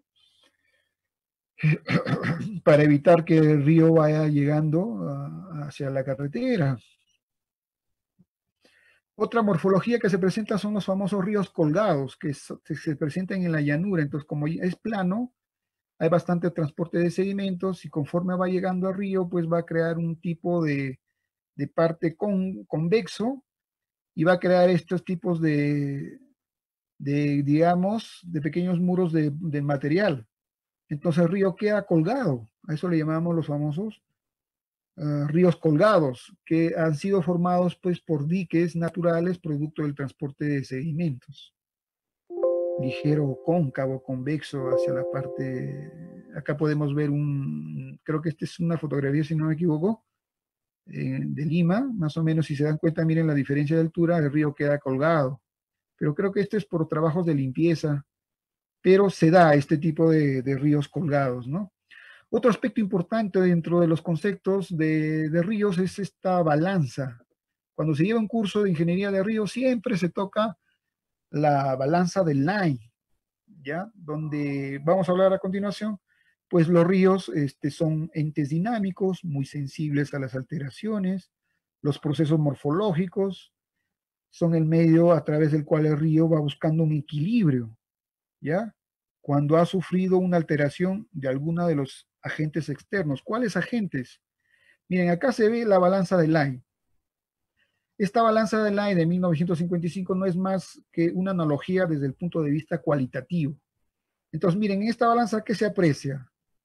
En el lado eh, derecho vemos la pendiente y el caudal líquido, o el caudal unitario, ¿sí? Y en el otro lado vemos el caudal sólido, ¿sí? El, el transporte de sedimentos y el diámetro. Entonces, miren, cuando se presenta, pues, un- cuando se tiene una mayor pendiente, ¿sí? Esto, eh, esta, este balancín, miren, se va a la parte de la erosión, ¿sí? Hacia el lado izquierdo. Hay mayor pendiente y hay mayor caudal, va a haber erosión. Si, si, si, si hay mayor transporte de sedimentos, va a suceder pues una acreción o sedimentación. Entonces, cuando el río está en equilibrio, pues se sobreentiende que esto está en línea recta, ¿no? Entonces, este es más o menos eh, el equilibrio de fondo con la balanza de Line desde el punto de vista eh, cualitativo. Pero es mm, una analogía muy interesante porque puedes ver, eh, te puede identificar cuando hay erosión y cuando hay sedimentación. La famosa balanza de Line. Ah, aparte de los ríos, eh, ya dijimos que los torrentes son aquellos que tienen una pendiente mayor al 6%. Una característica de los torrentes es que tiene tres partes. La parte 1, que es la cuenca de recepción en distintos afluentes. De ahí tenemos un canal de desagüe, un canal de desagüe y el cono de dirección. Estos torrentes pues tienen bastante eh, pendiente y tienen su morfología, su hidrología y su régimen, ¿ya? Eh, acá podemos ver, por ejemplo, eh, el hidrograma que se produce mayormente en un, un torrente o rampla, o propiamente dicho que se le llaman las quebradas que están alrededor de la ciudad. Bueno, en el caso de Cajamarca, pues es- está en el valle, y tenemos alrededor quebradas efímeras tipo torrentes. Y el caudal, pues, es, es bastante alto, podríamos decir, ¿no? Hidrológicamente, torrente se diferencia de un río por la velocidad del crecimiento del caudal, la pendiente del hidrograma es muy elevada, ¿no? Se produce un caudal. Acá también se puede apreciar las mismas características que tiene pues un torrente. Eh, acá podemos ver, por ejemplo, algunas imágenes eh, de ramplas, que son ríos de características muy particulares, son efímeros que solamente se activan en época de lluvia, sus lechos están compuestos por material granular, y es ahí donde cuando se presenta la lluvia, sobre todo en su cuenca, podríamos decir, eh, va a traer bastantes sedimentos. Entonces, para evitar eso es que aparece la ingeniería de ríos, a través de algunas eh, defensas ribereñas o a través de alguna estructura que permita disipar eh, los huaicos o las avenidas y evitar pues que cause daños a la parte baja donde se asientan las poblaciones. Eh, acá podemos ver, por ejemplo, algunas imágenes de, de, algunos diques. Esta de la parte derecha es un dique de, de, gaviones que se ha construido en Santa Eulalia para evitar justo lo que les menciono, en estas quebradas efímeras, cuando vienen los huecos, acá se acumulan, y por ahí tiene que haber también una manera de controlar, pues, estas avenidas y no cause daños en la parte baja. De eso se trata, pues, eh, algunas soluciones de este tipo de torrentes. Acá en Cajamarca, por ejemplo, tenemos un torrente, la quebrada de los Chilcos. Eh, yo menciono bastante Cajamarca porque trabajo en Cajamarca. He trabajado en ríos, he hecho bastantes defensas ribereñas, eh, bastante, ¿ah? bastante hecho. y por eso me he dedicado a esta parte y, estoy dando esta pequeña conferencia que tal vez les pueda servir en algo. Eh, la poca experiencia, bueno, no tampoco también, este, pero tenemos algo de conocimiento con respecto a las defensas ribereñas y a la ingeniería de ríos. Entonces, estos, estas, estas torrentes o ramplas o quebradas como en el caso de la quebrada de los chicos, miren, es un río efímero, tiene bastante sedimento, solamente se activa en época de lluvia. ¿Sí? Pero miren, e-, este puente que ustedes están viendo acá en la parte izquierda es justo eh, en la parte baja de la quebrada de los chilcos y miren, el sedimento ya casi está llegando al tablero. Ah, ya vamos a hablar también de esto, el problema, problema que se presentó en la quebrada de los chilcos. Otra característica de los torrentes es también esto que pues cuando se presentan las lluvias eh, va a venir pues este, tremendos, tremendos huaicos con material sólido y si hay algún puente, si hay algunas poblaciones, plum, se lo va a llevar pues porque están dentro de, de los cauces. Listo. He hablado un poco de ingeniería de ríos, los conceptos principales, Ahora voy a entrar al núcleo, al tema principal de, este, de esta ponencia que está relacionada con las defensas ribereñas. Y voy a hablar de la problemática de las defensas ribereñas de la ciudad de Cajamarca. Ojalá que haya gente de Cajamarca que trabaja en el municipio, porque esto tiene que ver porque eh, todavía la problemática de las defensas ribereñas del río que está dentro de la ciudad eh, hay problemas de sedimentación y de colapso. Entonces, yo voy a hablar de defensas ribereñas dentro de la ciudad de Cajamarca, río ciudad, ¿ya? Río ciudad. ¿Y, ¿Y por qué digo defensas ribereñas de la ciudad de Cajamarca? Porque miren, van a ver que esta problemática que tiene Cajamarca también lo tienen a nivel nacional, ¿ya? A eso voy a llegar. Entonces, acá en estas fotografías, son fotografías de las diferentes problemáticas que se han presentado en, el río que atraviesan la ciudad de Cajamarca. Las lluvias fuertes, el colapso de los muros, estos muros son de concreto ciclópeo en el río San Lucas que atraviesa la ciudad de Cajamarca. Eh, miren lo que siempre, las viviendas en el cauce del río, en las quebradas construye la gente. Y miren eh, eh, el colapso de algunos puentes justo por reducción del cauce. Ya, esto lo voy a explicar y, voy a partir de este mapa. Este mapa que es importante. En el año 2005, eh, ustedes sabrán, eh, el ingeniero Julio Coroigua elaboró eh, conjuntamente con el PNU y el INDECI, los programas de prevención y medidas de desastres. Hicieron las ciudades sostenibles. Eh, algunas autoridades ni siquiera lo leyeron, este, este, este programa, este estudio, ni le hicieron caso, lo guardaron. Yo en esa época trabajaba en defensa civil en Cajamarca y tuve acceso al documento. Entonces, eh, dentro de ese documento, pues está el mapa de inundaciones. Este es el mapa de inundaciones de la ciudad de Cajamarca del año 2005. Y miren, eh, brevemente nomás, eh, voy a indicar con, acá con el, puntero. En la parte de arriba tenemos el río Porcón, que va a pasar y va a formar el río Machcón y va a pasar por el aeropuerto y atraviesa todo el valle de Cajamarca hasta la parte baja el río Machcón. Voy a hablar de este río también. Acá está el río San Lucas. ¿sí? El río San Lucas que atraviesa la ciudad y va a la parte baja y acá en el caserío de Unión se une con el río Machcón. Acá tenemos otra quebrada que está dentro de la ciudad, es una cuenca pequeña, ¿sí? La quebrada Santa Rosa, creo me parece que se llama. Y acá en la parte baja está la quebrada Los Chilcos, justo que le mencioné, o Quebrada, Los Chilcos, o que viene de la Cruz Blanca. Pero ya en este año 2002 ya se habían identificado las zonas de inundación. Por ejemplo, acá en la parte baja, Caserío de Unión, zona de inundación. Y, esto se ha cumplido. Casi dos, cada, cada ciertos dos años hay inundaciones acá, hay inundaciones acá, hay inundaciones acá. ¿Ya? Y, esto lo anticiparon. ¿No? Por ejemplo, acá en la quebrada el año, hace dos, hace tres años, en esta zona hubo inundaciones. Acá en la quebrada Los Chilcos también, pues una quebrada efímera también. Pero no se han tomado las medidas, pues.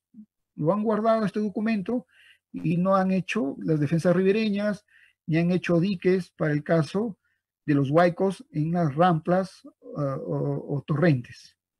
Entonces, miren, eh, yo siempre, como les digo, he tomado siempre algunas fotos.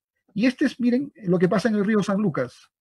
Este es un video que lo tomé en enero del 2014. Y miren los muros en el río. Ya, como el río no puede crecer a los costados por la presencia de las defensas ribereñas o muros, el río va a crecer hacia abajo, pues, o, o va a socavar. Sí, y miren cómo están los cimientos. Este es del 2014. Ah, perdón, acá se inclinó. Eh, bueno, no lo había visto esto, pero miren el problema de la cimentación de nuestros muros. Y acá miren esta parte de acá, el, las, los cimientos del muro están en el aire. Ya, este es en enero de 2014. Ya me acerco un poco más. Justo estoy subiendo por acá, era un día sábado, me acuerdo, y tomé esta, este video y vi pues el problema del, de la socavación de los muros dentro del río, en el río San Lucas de Cajamarca y todavía tiene este problema. Por eso, si es que hay alguien de la Municipalidad de Cajamarca que dé una revisada también, eh, la problemática que existe y que puede colapsar. Miren, dos meses después se produjo una fuerte lluvia, mayor, mayormente en Cajamarca llueven fuerte en febrero, en el 2014. Entonces también tomé, ya casi se produjo, pues miren, debajo del puente también hay socavamiento, justo porque voy a repetir, el río se ha reducido y como el río no puede, eh, digamos, extenderse a los costados, pues se produce la socavación y las estructuras como las defensas ribereñas o los muros quedan en el aire. Acá vino una fuerte avenida después de una precipitación y colapsaron los muros, 20 metros. Hasta la fecha, miren, del 2014 al 2000, no han solucionado, no han puesto nada de muros. Pero el problema sigue, ¿eh? se mantiene todavía ¿ya? Y este problema del colapso del, de, los, de, la, de la problemática que existe. ¿ya? Entonces, miren, socavamiento, colapso de muros, miren cómo están, digamos, las zapatas o los cimientos, ¿ya? Debido a que hemos reducido, pues, el cauce del río. ¿ya? Eh, esos son unos problemas, tanto por invasión, reducción del cauce, ¿no? Miren, y esto son fotografías que he tomado hace dos meses, creo. También existe todavía la problemática. Esto está en peligro de caerse. Cualquier rato este, e, esta época no ha habido lluvias. El año ha sido seco para acá, la región de Cajamarca. Creo que el norte, ¿no? Año seco, no ha llovido este año acá en Cajamarca. Entonces, miren, hay problemas de colapso. Acá le he puesto 2010. No, esta foto es, eh, no es del 2010, es del 2020. Perdón. Recién esta foto, que a veces paso por ahí, voy tomando y veo cómo se está comportando el río. Bien, miren, antiguamente, eh, miren cómo se malogra, eh, son fotos antiguas ya, de cómo los cimientos se van este, deteriorando conforme pasa el tiempo, ¿sí? Y antiguamente, pues cuando yo me inicié a trabajar en el río San Lucas, ¿cuál era la solución? Hacer las calzadas, proteger los cimientos, pero eso no es la solución, pues. La solución es otro tipo, que es la ingeniería de ríos. Y, los trabajos que se hacía era cubrir con concreto para que de alguna manera a mediano plazo eh, solucione la problemática, pero eso no es la solución. Otro problema es también la construcción de, viviendas cerca del cauce del río. ¿no? Algunos han puesto muros, este es en la parte baja donde vieron en el mapa, en el río que se une el río San Lucas con el río Machcón, eh, ahí eh, siempre todos los años hay inundaciones. La gente ha construido sus viviendas en el cauce del río. Esta es una fotografía tomada de un dron, la ortofoto. Miren, la invasión del cauce por la población. Caserío de Unión. Esta es otra imagen del dron también, que hemos hecho levantamiento con dron. La gente ha invadido el cauce del río. Sigue las secciones. Miren, pues la gente está prácticamente dentro del cauce los puentes mal construidos a una altura pequeña, sin cálculo hidrológico. El otro problema es eh, el arrojo de basura. Y miren, la gente construye sobre los muros sus viviendas, ¿sí? Sobre las viviendas, ese es el problema. En el río Mashcón, ¿qué problema hay? Miren, el desmonte. La gente para ganar terreno, a río bota desmonte y va ganando terreno. Desmonte y basura desmonte y basura. Acá tenemos una imagen del dron también en el, este, esta carretera va a los baños. Y miren lo que ha hecho acá la gente. Para ganar terreno han hecho unas defensas ribereñas con material para ganar terreno y han puesto sauce. Y miren acá el muro, reducción del cauce, para ganar terreno. Acá también, miren, acá se ve el muro, no sé si lo aprecian, acá con el puntero. Acá, miren, el muro está acá y miren todo esto. Esto es desmonte. Y miren cuánto ha bajado el río. Acá de igual manera, desmonte y el río como no puede crecer a los costados. Y, las defensas ribereñas desaparecieron. Eh, otro aspecto que voy a tocar es de los puentes. En el 2012, una fuerte lluvia y produjo pues eh, socavamiento eh, en, este puente que tenía 10 años. También por reducción. Miren la basura. Y miren cuánto ha bajado el nivel del río, por lo menos un metro. ¿Sí? Socavamiento de la zapata por reducción del cauce. Acá creo que este es un videíto, me parece. A ver. No me acuerdo si es cuál era el videíto. Este creo que es.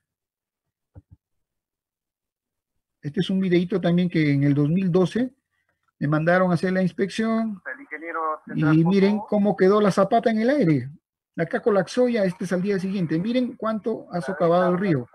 Todo lo que ustedes están viendo es desmonte. ¿ya? Porque este puente tiene 40, creo que 41 metros de luz. Ya no existe porque colapsó, pues, ¿no? Pero esa es la problemática. Arrojo de basura. Miren, ni siquiera se ve el estribo del otro puente, ni acá tampoco. Entonces esto colapsó simplemente porque hubo reducción del cauce y acá ya pues 40 metros de luz, vida útil 10 años, falló. Socavamiento en la Zapata, caballeros. Hay otro puente más abajo que se llama el puente Medio Cocha. Miren también, miren, arrojo de basura, desmonte, basura y desmonte. El puente también presenta ya socavamiento en sus zapatas por reducción del cauce. Ahí tenemos los tajamares que le llamamos. Acá hay otra fotografía Acá también la gente ha construido sus viviendas dentro de los cauces, dentro de las quebradas. Miren eh, la quebrada de los Chilcos que lo mencioné. Miren el puente que está en curva, mal ubicado, bastante transporte de sedimentos. Esta quebrada, ¿en qué año fue? En el 2013 se produjo en Cajamarca. Si en Cajamarca llueve más de 26, 23, 22 milímetros, y hay inundaciones. Acá en Cajamarca, el 12 de abril, se produjo una lluvia uniforme sobre todo el valle y más o menos se había registrado una precipitación de 35 milímetros. Esta quebrada, que era un torrente, que es un torrente y es quebrada efímera, efímera se activó, ¿sí? Y trajo bastantes daños en la parte eh, baja, ¿no? En la parte baja. Miren, toda esta problemática se repite. Cuando eh, se presentó el niño costero, ¿ya? Eh, ¿En qué año fue? Me parece en el 2017. La UNI se hizo un pronunciamiento y yo siempre vi el pronunciamiento, ah, dije, este lo voy a capturar para algunos de mis diplomados, algunos cursos de ingeniería de ríos o de defensa ribereña. Y miren, ¿qué dijo la UNI en aquella época? Las lluvias y huaicos son fenómenos naturales cíclicos que anualmente varían con intensidad, pero que sin embargo siempre ocurrirán. ¿Ya? Acciones del hombre y sus autoridades. En el caso del río Lima, del caso de Lima, en los ríos Rimas, Chillón y Lurín, han sido reducidos por diversos motivos, ¿no? El incremento de la velocidad, consecuencia, trae socavación, profundización del cauce. De ahí los derrumbes que se observan a diario y las inundaciones en zonas de ciudad, donde el río no puede discurrir como antes. Los cauces de los ríos deben respetarse. Ninguna obra debe ocuparlos, no deben permitir invasiones, ¿sí? ¿Y a qué se refieren? Miren, la falla de las estructuras sobre los ríos están relacionados con problemas hidráulicos, principalmente la socavación, ¿sí? ¿Qué más? Reducción del cauce del río. Por si acaso, estas, estas diapositivas son antes del fenómeno del niño, ¿eh? antes, perdón, del niño costero. Yo ya había tenido esta ponencia alguna vez para presentarlo. Hice una exposición también en, una, en la universidad sobre la problemática. Y de ahí la, la UNI hace el pronunciamiento. Entonces, es la misma problemática. Miren, reducción del cauce, arrojo de basura, desmonte, y hay gente que quiere ganar terreno al río. Y lo dice la UNI, y también yo ya me había dado cuenta, pues como había trabajado en los ríos, había observado eso. Entonces, miren, lo que se recomienda a la UNI, pues el planeamiento urbano, ordenamiento territorial, ahora la ANA ya está con el reglamento de las fajas marginales, entonces la misma problemática, la misma problemática. Entonces, acá la UNI, eh, doctor Alboltaro también dice pues que se debe eh, se recomienda que se debe respetar los ríos, no hay que invadir, hay que evaluar los casos de los ríos en las zonas urbanas para construir defensas ribereñas, hablar de un acondicionamiento territorial, ¿no? Entonces, la misma problemática. 20 de marzo del 2017, después del niño costero. En Arequipa, este año, porque acá en el norte no ha llovido, llovió en la parte sur, y en Arequipas, miren, la misma problemática. Acá se ve en este video, miren, esta es una quebrada. Es pequeña y miren, la gente ha construido sus casas en los muros. Entonces acá ha sucedido lo mismo, ha socavado y se ha caído los muros. Pero acá ha habido casas, pues. Acá ha habido casas. Esto es en el 2020. Miren la quebradita.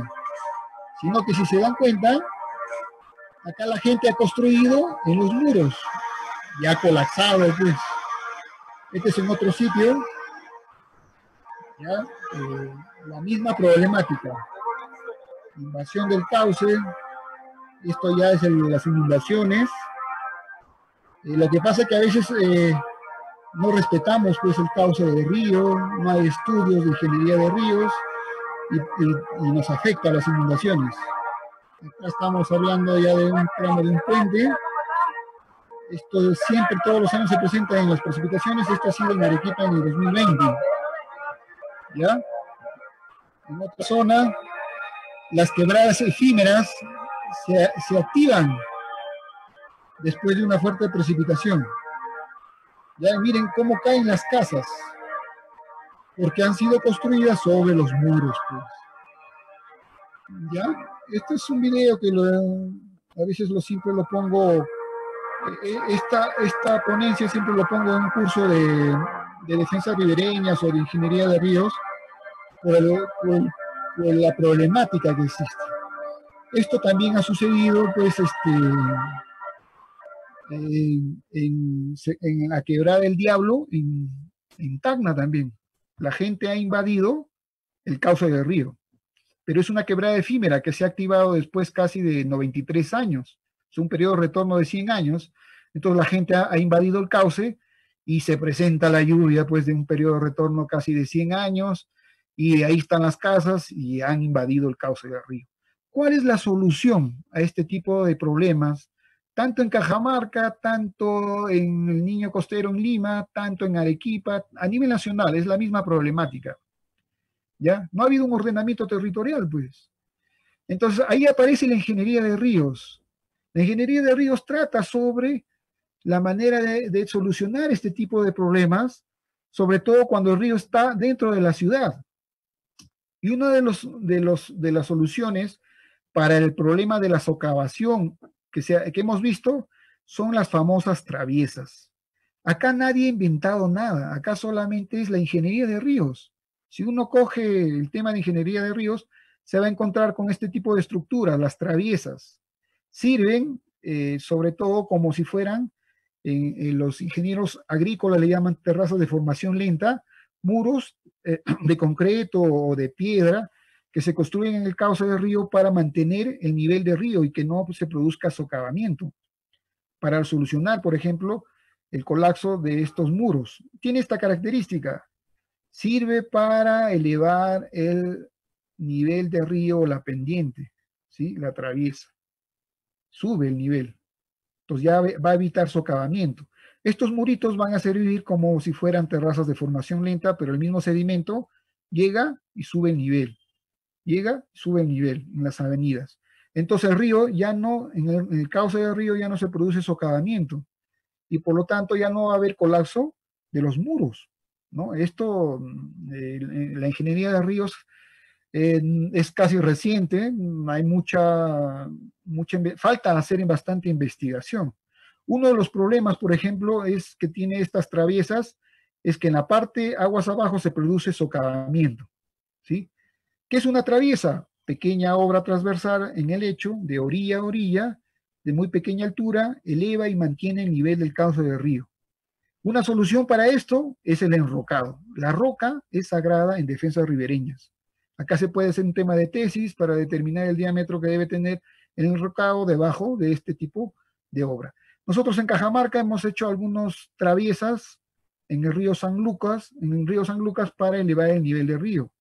Ha dado buenos resultados, miren las traviesas de concreto, ya esto es hace años, y miren cómo, esta es una traviesa en la curva de un río, en la parte alta de la ciudad, eh, y ha trabajado muy bien, miren, se mantiene el nivel de río, nos da soluciones, entramos recto. También lo hemos hecho en gaviones, en la parte baja, estos gavioncitos para que también no tengan problemas de socavamiento le hemos puesto algunas traviesas, ¿ya? Esta es una solución que puede dar a este tipo de eh, socavamiento. Eh, otro aspecto importante también es, hay que tener mucho cuidado en ingeniería de ríos, por ejemplo. Acá tenemos dos imágenes, miren, esto es el río, eh, ¿qué río es este? El río Mashcón en la parte alta. Y bueno, yo tuve la suerte de hacer esta defensa ribereña. En el expediente mandaba hacer un muro casi de puente a puente, casi medio kilómetro. Y los tramos eran rectos, pues. Eran rectos. Nosotros con, un poco de criterio ya no lo hicimos recto. Miren, le dimos un poco de forma de, de curva.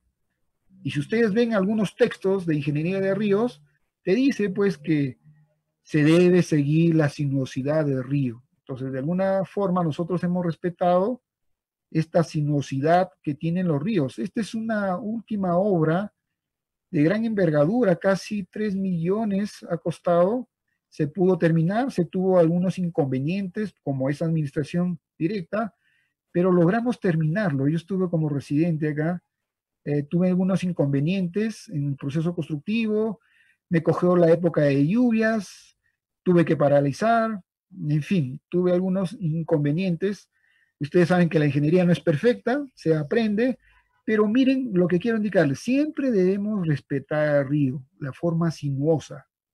A mi maestro de obra le dije, hay que, bueno, procurar en este tramo que no sea tan recto, ¿no? Con el visto bueno de la supervisión. Y quedó chévere, trabaja muy bien. Esto se puede ver en la imagen satelital, cómo ha ido el proceso constructivo. Y la gente que ha invadido el cauce, por ejemplo, acá en la ciudad de Cajamarca, por si acaso, gracias a las imágenes del Google Earth, pueden ver cómo han invadido el cauce del río, o sea, que ni se escapen. Por ahí están las evidencias. Entonces, miren, un buen manejo de la ingeniería de ríos nos puede dar soluciones. Acá, por ejemplo, para las torrentes, también se deben construir las traviesas y pequeños muros. Miren, traviesa, traviesa, traviesa, traviesa y pequeños muros. Solucionado el problema. Para el caso de los torrentes que tienen pendientes altas y, grandes, miren, se pueden construir los diques. Diques, diques de estas características. Pero esto, ¿quién los da? La ingeniería de ríos. No lo doy yo, dirán, esto no, esto ya Japón, China, eh, Francia, eh, Chile, también, eh, y Venezuela. Venezuela también ha hecho bastante este tipo de diques transversales para solucionar el problema de los huaicos en las torrentes y sobre todo en las quebradas efímeras. En el Perú también, en la quebrada Santa Eulalia también ya se han construido algunos de estos diques para quebradas efímeras, ¿sí? Para quebradas efímeras. El objetivo es retener ese huaico y evitar que llegue a la parte baja donde están las ciudades y colapse. Ya lo vamos a ver en un video bien educativo. Miren, estas fotos son de manejo de cuencas, miren, muritos, diques, para evitar que haya erosión. Ya acá también vemos eh, otro tipo como si fueran pequeñas presas, pero que dejan pasar el líquido. el objetivo es eh, retener un poco los sedimentos y evitar que llegue el, transporte de sedimentos a la ciudad. ¿no? Acá también los, los venezolanos también han trabajado bastante en torrentes. ¿no? Miren, acá tenemos este, en Australia también han hecho sus pequeñas traviesas y han mejorado la cuenca, pues el transporte de sedimentos se debe pues también a que no hay reforestación, entonces hay que tratar de reforestar. Miren la diferencia, 1891, 1984, la diferencia en el manejo de la cuenca. Miren esta fotografía, miren, se le llama las presas abiertas. Sirve para retener los sedimentos, ya esta fotografía es de un artículo del ingeniero Luis Suárez, un experto en, diseño de presas y eh, diques para torrentes, un venezolano, ¿no? Eh, acá también diques transversales en, en, quebradas efímeras y torrentes. Acá está el ingeniero Luis Suárez, en sus libros habla bastante de estos tipos de torrentes. Ya, acá vamos a ver, miren, la solución para este tipo de las quebradas efímeras. Este es un video educativo que está en internet. Miren lo que sucede. Ya, miren lo que sucede. Ven la llegada. Y acá se ha construido diques. Cuando hay diques, ya no hay, ya no hay daño en la ciudad. ¿Y esto quién lo da? La ingeniería de ríos. Entonces, miren, ya no colapsa el puentecito. ¿sí? Entonces, existen soluciones para este tipo de problemas en defensas ribereñas. Eh, bueno, eh, voy a hablar un poco también de las fajas marginales, que también es una solución. El ANA eh, Diori tiene un reglamento sobre las fajas marginales, la misma problemática, invasión del río, expansión urbana, deforestación, basura, desagües, construcción de obras hidráulicas, malas prácticas. Entonces, el ANA ya pues como ordenado excelente, digamos, la autoridad para regular los planes de desarrollo, ¿no? Eh, al respecto. Y es competente de las fajas marginales, eh, ha desarrollado eh, diferentes estudios con respecto a la gestión de recursos hídricos en la cuenca, también ah, ha, hecho el reglamento, los ha aprobado, ¿no? Y ha dado como resultado, pues, este, este famoso eh, reglamento para la limitación y de las, de las fajas marginales, con este reglamento. Acá todo hay unas definiciones previas, ustedes lo pueden bajar de, de la página web. Acá hay algunas definiciones previas, las riberas, niveles máximos, niveles mínimos, y acá está lo que es las fajas marginales. Acá voy a hablar un poquito. Miren, tenemos el río, cauce o alvelo. Acá tenemos el nivel mínimo y el nivel máximo. Entonces la faja marginal es desde el nivel máximo hacia afuera, ¿sí? Hacia afuera. Y está reglamentado. Faja marginal, área inmediata superior al cauce o al velo de la fuente de agua, natural o artificial, hasta, ah, digamos, hasta los niveles. ¿Cómo lo, determino? Pues mediante un modelamiento hidráulico o mediante la huella máxima. El modelamiento hidráulico puede ser pues, a través del EGRAS o a través del IBER, habiendo calculado el caudal máximo para diferentes periodos de retornos.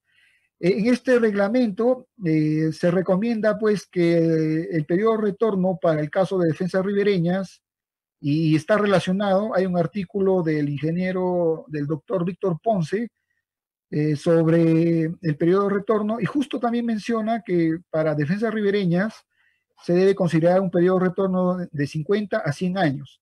50 años para defender eh, terrenos agrícolas y, y, un, y, periodo de retorno de 100 para cuando hay asentamientos poblacionales. Concuerdo con eso, está bien lo que haya dicho este, eh, este reglamento.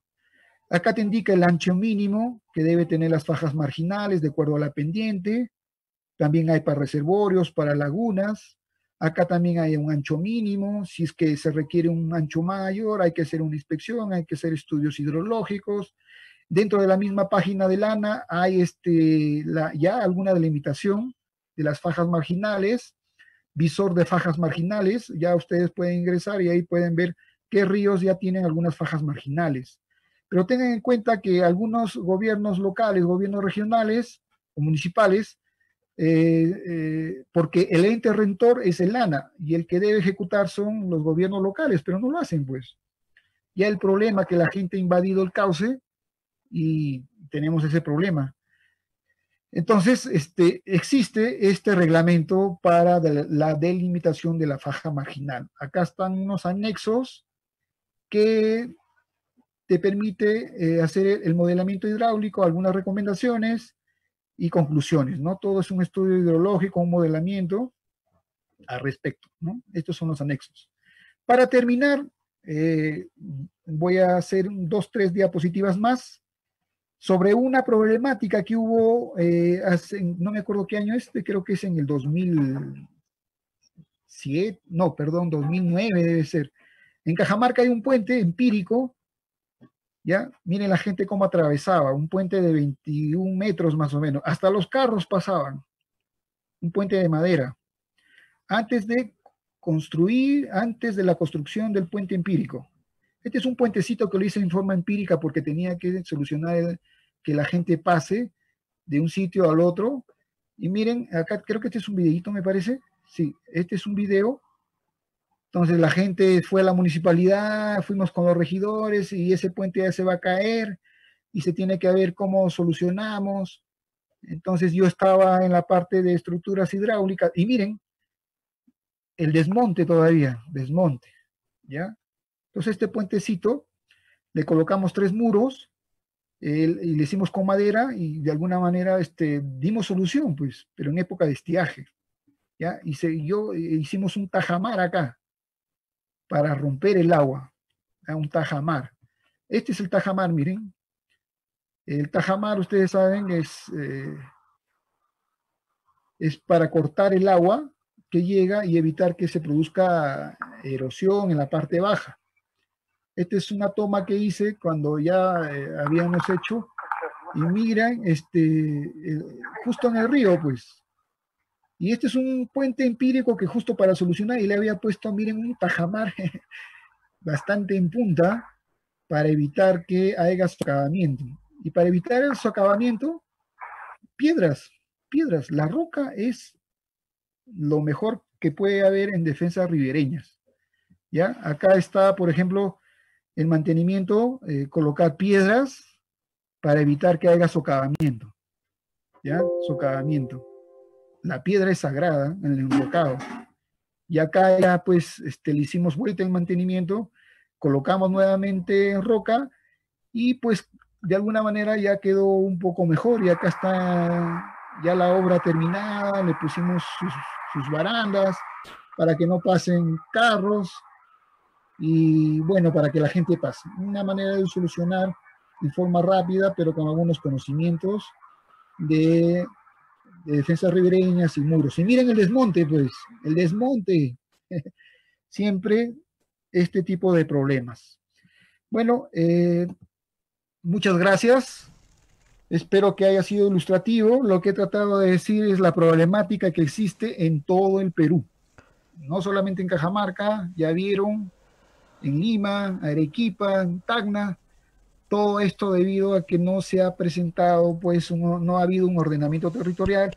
Y por ejemplo, lo que mencioné, el, trabajo que hizo el ingeniero Curovigua sobre ciudades sostenibles, bueno, lo han guardado ahí las autoridades, ¿no? Lo han guardado ahí y no han tenido en cuenta este trabajo importante sobre el tema de defensa ribereña y sobre inundaciones.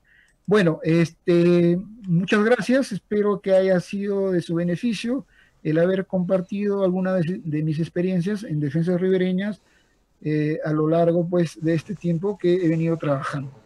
Bien, este, no sé, eh, ¿qué dirán? ¿Habrá preguntas? Este, Claro que que- sí, ingeniero. Muchas gracias por su presentación. Eh, invitamos a todos los que han estado escuchando esta charla, por favor, a generar las consultas para el ingeniero Luis de Francech Ortiz. Y le voy a leer algunos comentarios que han puesto, porque más que preguntas hay comentarios. El ingeniero Pachi Ceballos García dice, se aprecia que el Perú tiene excelentes ingenieros especialistas que tienen bien claro qué se debe de hacer. Eh, Mientras que las instituciones del Estado no dieron valor a todos los trabajos efectuados por esos técnicos, ahora van a venir extranjeros a aprender nuestra problemática local específica y vinculada al fenómeno del niño y sus derivados. ¿Algún comentario, ingeniero? Sí, tiene mucha razón. Por ejemplo, cuando yo estaba trabajando en defensa civil, justo yo tuve acceso a ese documento de las ciudades sostenibles, hecha por un equipo muy disciplinario en los temas de hidráulica y de ríos, y ellos mismos habían ident- identificado ya las zonas vulnerables. Pero ese, ese estudio que se les dio a los, a los alcaldes o autoridades, lo guardaron. Entonces, justo que hace el comentario ese señor de que va a venir gente pues de afuera para el tema de la parte de Piura, que van a hacer los drenajes, defensas ribereñas, y tengo entendido que también van a hacer eh, presas para tipo para regular los caudales, sobre todo del río Piura, pues, porque el río Piura tiene bastante caudal, entonces la manera de evitar inundaciones es hacer presas en la parte alta para regular ese caudal y evitar inundaciones.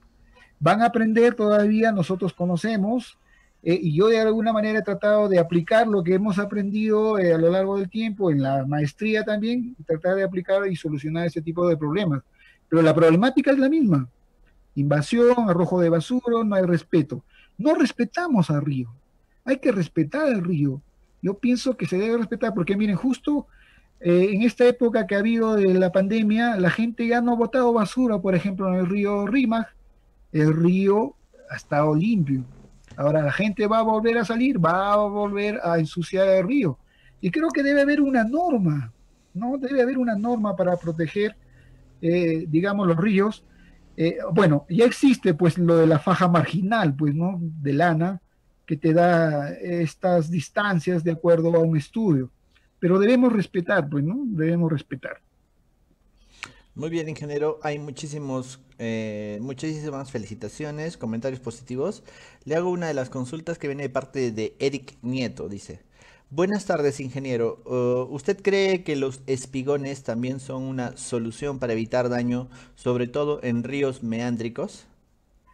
Eh, sí, lo que, lo que he podido observar, eh, no he tocado los espigones, no he tocado los espigones porque, bueno, ya se alarga el tiempo, sí solucionan los espigones. Se han hecho modelos hidráulicos, la UNI también ha hecho modelos hidráulicos, tanto de traviesas como espigones. En el caso del río Tumbes, en las, en las imágenes que les he mostrado, aparecen espigones y sí solucionan porque son técnicas de la ingeniería de ríos. Acá nadie ha inventado, solamente lo que estamos tratando de aplicar es la ingeniería de ríos a solucionar, pues, a encauzar un río. Una forma de encauzar el río y de dirigir un río son los espigones, de acuerdo hay espigones en forma de T, en forma de L, ya pues eso se diseña eh, de acuerdo, pues, y ahora tenemos pues los, los gaviones, la, la, lo de Macaferri, eh, tiene también sus diseños propios que sirven para solucionar este tipo de problemas. Muy bien, ingeniero. Aquí tenemos otra consulta también de Eric que dice, ¿cuál sería el alejamiento mínimo de un río para poder realizar una construcción? Ah, muy bien, este, miren, la faja marginal, eh, el reglamento te dice, por ejemplo, más o menos 3, 4 metros, eh, pero lo que se recomienda es hacer un estudio de máxima avenida, pues. Hay que calcular un caudal máximo para un periodo de retorno de 100 años y hacer una simulación en el EGRAS o en el IBER. Entonces, como ten, tenemos la imagen satelital, o bien de satélite o bien de un dron, porque ahora los drones para ingeniería de ríos es clave, ¿eh? tanto para la topografía como para que nos den estas fotos. Entonces, estas fotos en el modelamiento sirven para ver la inundación y hasta dónde llega.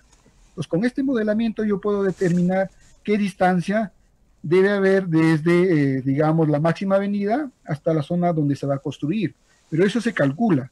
¿Quién ha hecho esto? Este, los españoles tienen un buen ordenamiento territorial y un buen manejo de los ríos. Eh, esto ni habla, por ejemplo, en el año 2012, que fui a la agraria, justo para llevar un curso de EGRAS, justo vino, vino un ingeniero de la UPC, eh, y nos dictó el curso y, lo primero que mencionó, ordenamiento territorial. Ordenamiento territorial, ordenamiento territorial, perdón, para evitar que la gente siga invadiendo el cauce. Porque viene la avenida y chao, lo que ha sucedido en el Niño Costero, lo que ha sucedido en Arequipa, lo que ha sucedido en Tacna y también en Cajamarca. Hemos invadido el cauce del río. Entonces, tenemos que eh, diseñar eh, determinar los caudales máximos para determinar esa distancia que debemos tener para respetar los ríos. Muy bien, ingeniero, muchas gracias. Aquí hay otra pregunta también eh, relacionada a esto, ¿no? Mm, buenas tardes, la pregunta es, en la reconstrucción del norte se tiene proyectado muchas defensas ribereñas. ¿En esos proyectos se habrá tenido en cuenta este ordenamiento territorial? Eh, bueno, la verdad que no, no tengo conocimiento al respecto, pero creo que tiene que haber sido hecho por algunos especialistas, ¿no? Eh, que sepan sobre la existencia de las fajas marginales, del reglamento que está en la ANA, tiene que haber, pues, haber hecho un modelamiento hidráulico, determinar los caudales máximos, esas estructuras tienen que estar determinadas, por el caso de Piura, pues, se debe incluir el caudal máximo del fenómeno del niño, y algunas consideraciones de ingeniería de ríos, porque acá el tema es ingeniería de ríos. La gente ha invadido el cauce por desconocimiento. Ellos, bueno, también aparte de haber querido ganar un poco de terreno, eh, ellos han instalado sus viviendas en quebradas efímeras. Esas quebradas efímeras, por ejemplo, la quebrada del Diablo en Tacna, la gente como no vio nada de agua en el río, eh, construyó sus viviendas y esta quebrada, que nosotros en hidrología le llamamos quebradas efímeras, se activan cada cierto tiempo. Eh, en este caso ha sido casi 100 años, 93 creo me parece. Vino el caudal y las casas estaban ahí, caballeros. En, en Venezuela también pasó lo mismo. El periodo de retorno fue de 300 años. Vino tremenda lluvia y había edificios, había casas. Entonces eso es por un poco de desconocimiento. La ingeniería de río nos puede indicar dónde eh, construir o ver si por ahí había un cauce. Los estudios que se hicieron de ciudades sostenibles, dirigida por el ingeniero Julio Curoigua, ya fallecido, eh, se hizo esto en consideración. O sea, más o menos hacer un ordenamiento, dónde se debe construir, dónde no. Entonces, eh, no respetamos pues buenos trabajos y no le hemos hecho caso. Eh, bueno, pero no es tarde, ojalá que por ejemplo los de Cajamarca se den cuenta que hay problemas en las defensas ribereñas, si es que hay alguien por ahí o que vea después el video para solucionar este tipo de problemas. Bueno, ojalá que hagan buenos trabajos pues en la parte norte, sobre todo en Piura, yo, bueno, yo he estudiado en la Universidad de Piura, he visto la realidad, la problemática, Y la Universidad de Piura pues tiene su laboratorio, que hay buenos profesionales, ellos conocen la realidad.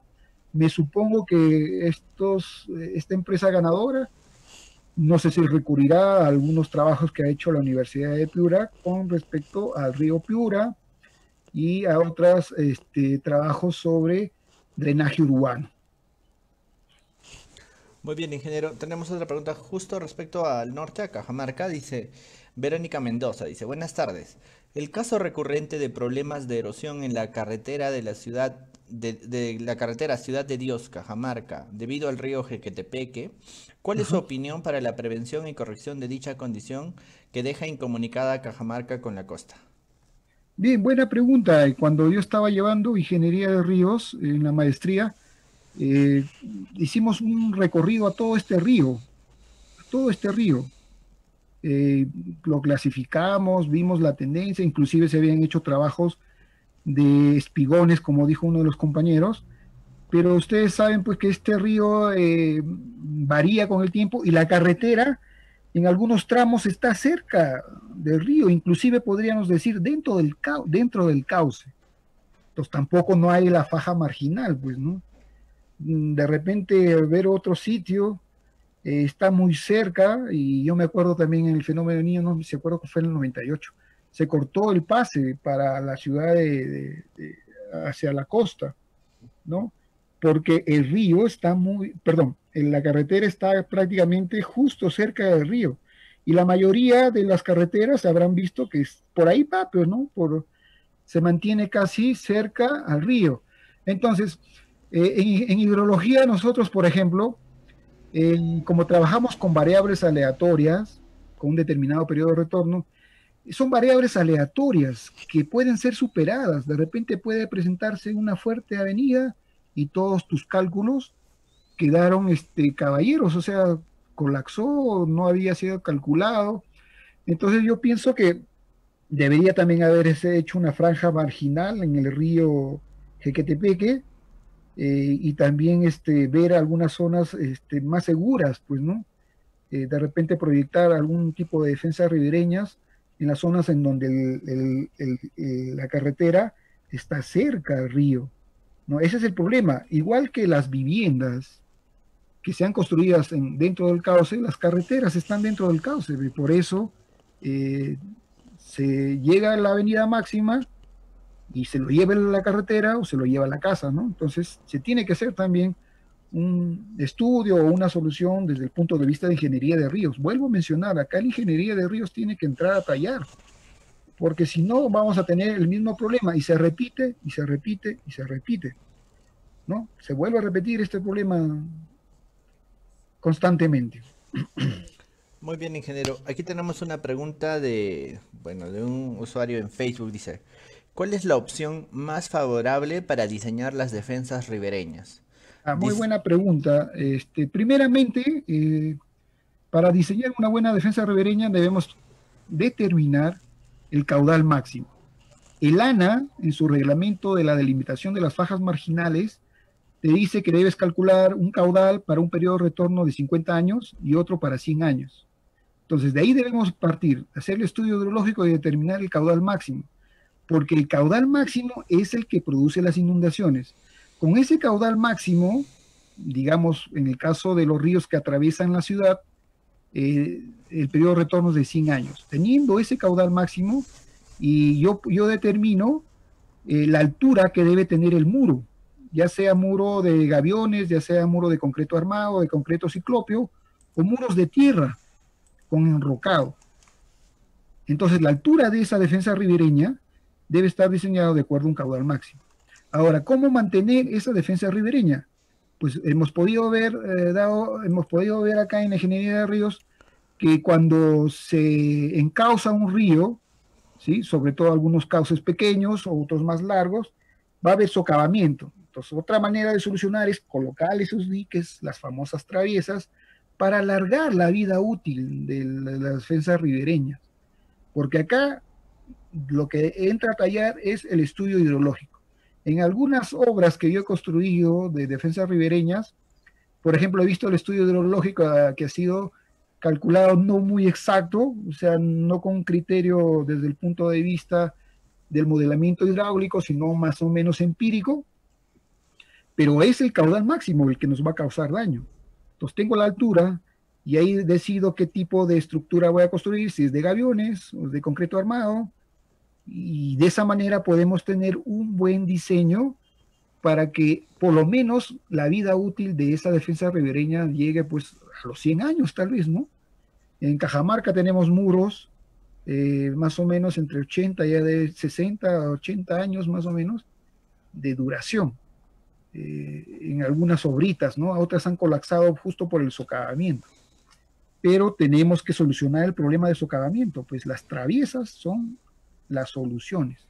Y de repente, para comentar, eh, la ingeniería de ríos es reciente, entonces hay temas de investigación, hay temas de tesis, eh, falta estudiar bastante el transporte de sedimentos y sobre todo que, bueno, en mi experiencia, eh, las rocas han sido la solución para todo, para mejorar el suelo, para proteger nuestros muros, evitar el socavamiento, pero el diámetro, el tamaño de la roca se debe diseñar yo pienso que a través de una investigación o modelos podemos determinar el, verdadero tamaño, el verdadero tamaño o diámetro que debe tener el enrocado en las defensas ribereñas. Claro que existen algunas fórmulas como la ecuación de la Barrow Reclamation para determinar el diámetro, el espesor para el enrocado en las defensas ribereñas. Bueno, eso no he tocado porque el, tiempo es corto, es bastante hablar pues de espigones, de traviesas, de enrocados, de muros de, tierra que, también sirven para ah, proteger algunas ciudades, ¿no? Muy bien, ingeniero. Otra consulta que tienen aquí. Eh, ¿Qué obras pueden realizarse en las fajas marginales que sea viable y que tenga un contraste con limpieza y cuidado de las riberas de los ríos? Ah, por ejemplo, muy buena pregunta. Dentro del reglamento de las fajas marginales te dice que puedes hacer algunos tipos de obras pero con permiso. Eh, ya, eh, sobre todo lo que sucede con las fajas marginales es que tú debes de respetar esa faja marginal. Esa faja es, le llaman, de dominio público hidráulico. Ahí no puedes construir, no puedes construir. Por eso la faja marginal, pues. Eh, pero si tú te das cuenta, en todas las ciudades la gente ha construido su casa, dentro del caos y no respeta las fajas marginales. Entonces, ahí cómo vas a hacer? Vas a tener que demoler, mucha, todo es un tratamiento ya desde el punto de vista social. Entonces, para mí la faja se debe respetar. No hay que construir dentro de la faja, porque de acá, digamos, si no llega eh, en estos 100 años, podrá llegar de acá a 150, a 200 ese caudal y va a destruir, pues. Entonces hay que respetarlo y evitar construir dentro de esas fajas marginales, ¿no? Pero la realidad es diferente, pues la gente está dentro del caos. Entonces, eh, la gente que ya tiene sus viviendas, como ustedes han visto algunas de las fotografías, tienen que protegerse, pues, colocar algunos sacos, colocar algunos muros. Esos muros son temporales, pero están dentro de la faja. Entonces, yo pienso que el reglamento está bien dado, los periodos de retornos también están dentro de los requisitos para defensas ribereñas, desde el punto de vista hidráulico también, hidrológico, perdón. Entonces debemos respetar, debemos respetar al río, porque el río, miren, el río, ¿qué nos da? Nos da agua, la cuenca nos da agua. Aparte que nos da agua, este, ¿qué otro aspecto? También los ríos transportan los nutrientes hacia la parte baja. ¿no? Hay que, eh, vuelvo a repetir, eh, los españoles bien manejan sus ríos, Estados Unidos también, los chilenos también van por ahí en la parte de mantener o hacer un, ¿cómo le llaman ellos? Un mantenimiento, no, no es la palabra correcta, eh, restauración, algo de ríos es, y, respetan bastante el río, ¿no? no hay basura, no hay, no hay ni siquiera piedra, entonces nos falta cultura del río.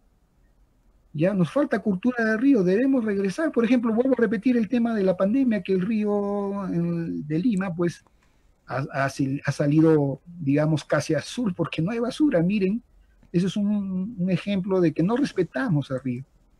Entonces, para evitar que nos haga daño el río, pues respetemos su causa, respetemos su forma y, y- de alguna manera evitar pues estos daños, de repente las pérdidas de, vidas, ¿no? Eso es lo que podría indicar, ¿no? Lo, lo- lo grave, lo grave sería perder vidas humanas, pues ya pues las viviendas se pueden recuperar, pero la vida no, pues, ¿no? Entonces hay que respetar los ríos, eso sería mi comentario.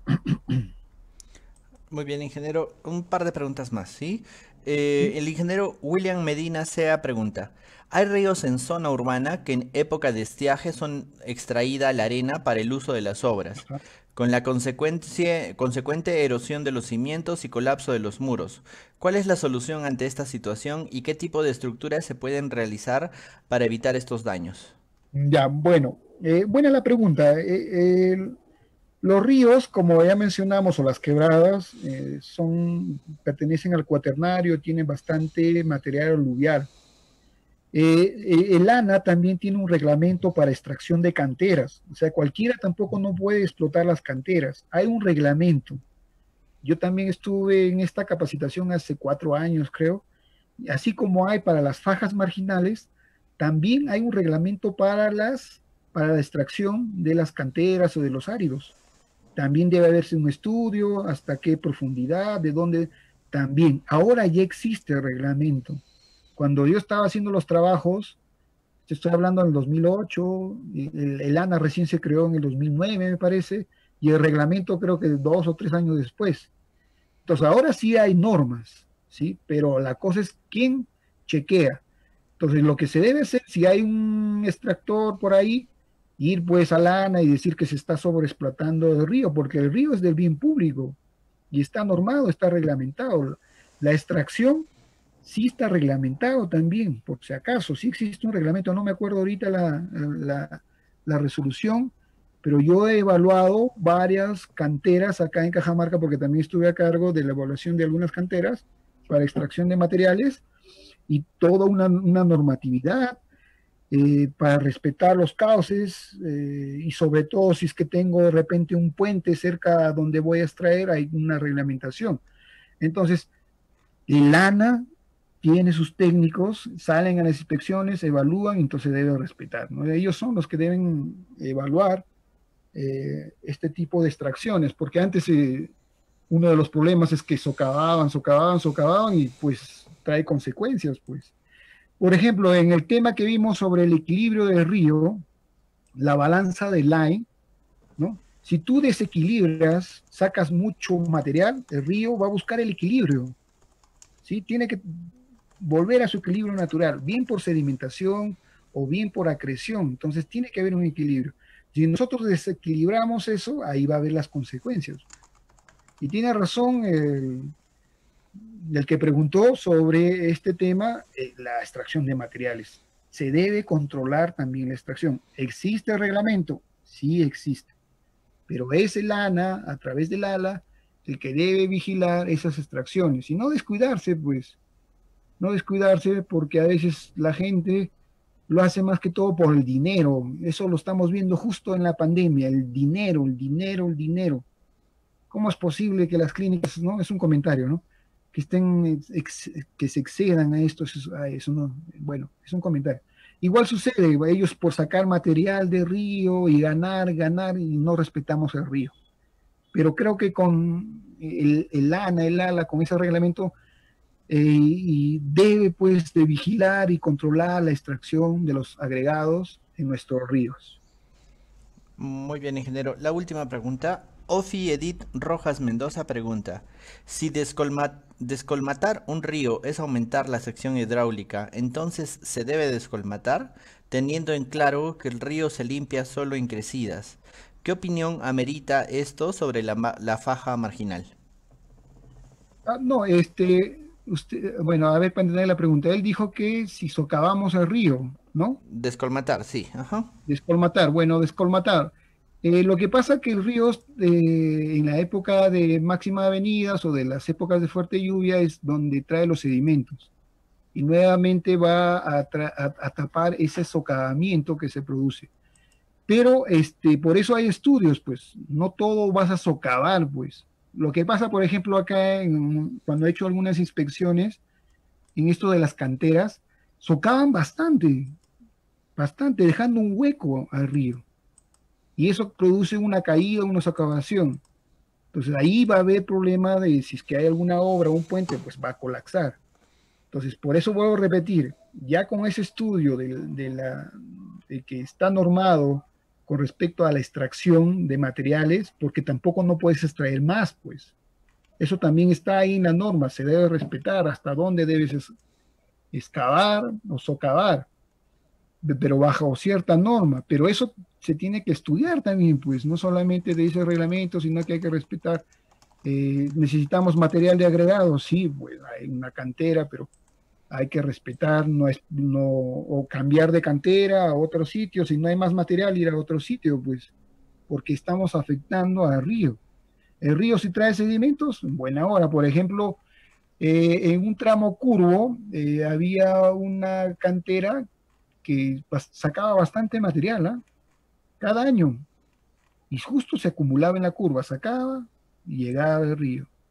Sacaba y llegaba. Bueno, se mantenía ese equilibrio para la extracción, pero no había una sobreexplotación. Entonces, eh, el ANA también, a través del ALA, a través de su reglamento, también debe de verificar eso, porque eh, la entidad, el Estado ha dado esa autoridad al ANA para que controle todo lo que corresponde a los ríos y la gestión de los recursos hídricos. Es su trabajo, ahí hay técnicos, ya hay bastante información eh, sobre el manejo de ríos y hay profesionales que conocen del tema. pues. Muy bien, ingeniero. Muchas gracias eh, por su presentación del día de hoy. A nombre del capítulo de Ingeniería Civil del Colegio de Ingenieros de- del Consejo Departamental de Lima, del Colegio de Ingenieros del Perú, le agradecemos por haber compartido con nosotros esta brillante exposición. Reciba todas las felicitaciones eh, de, la, de parte del, auditorio que lo he escuchado, que han sido más de 500 personas en Facebook. Muchas gracias, ingeniero, y eh, le- lo invitamos a dar sus palabras finales. Bueno, este, agradecerles también por la invitación, por la invitación y más que todo por la oportunidad de compartir algunas experiencias, algunos eh, tanto prácticos como teóricos en la parte de defensa de ribereñas y en, y- y en el conocimiento de los ríos. Eh, ojalá que les haya servido y sobre todo motivar a la gente a cuidar nuestros ríos, que son importantes, y sobre todo los ingenieros civiles, los hidráulicos, los agrícolas, los que hacen intervención en los ríos, respetar los ríos, ¿sí? Bueno, gracias también y será hasta otra oportunidad. Muy bien, ingeniero. Gracias a usted. Listo. Este ha sido el seminario virtual Defensas y Ribereñas, Problemática y Soluciones a cargo del ingeniero, de Franche- ingeniero Luis de Franches Ortiz. Gracias y hasta el día lunes que continuamos con estas sesiones.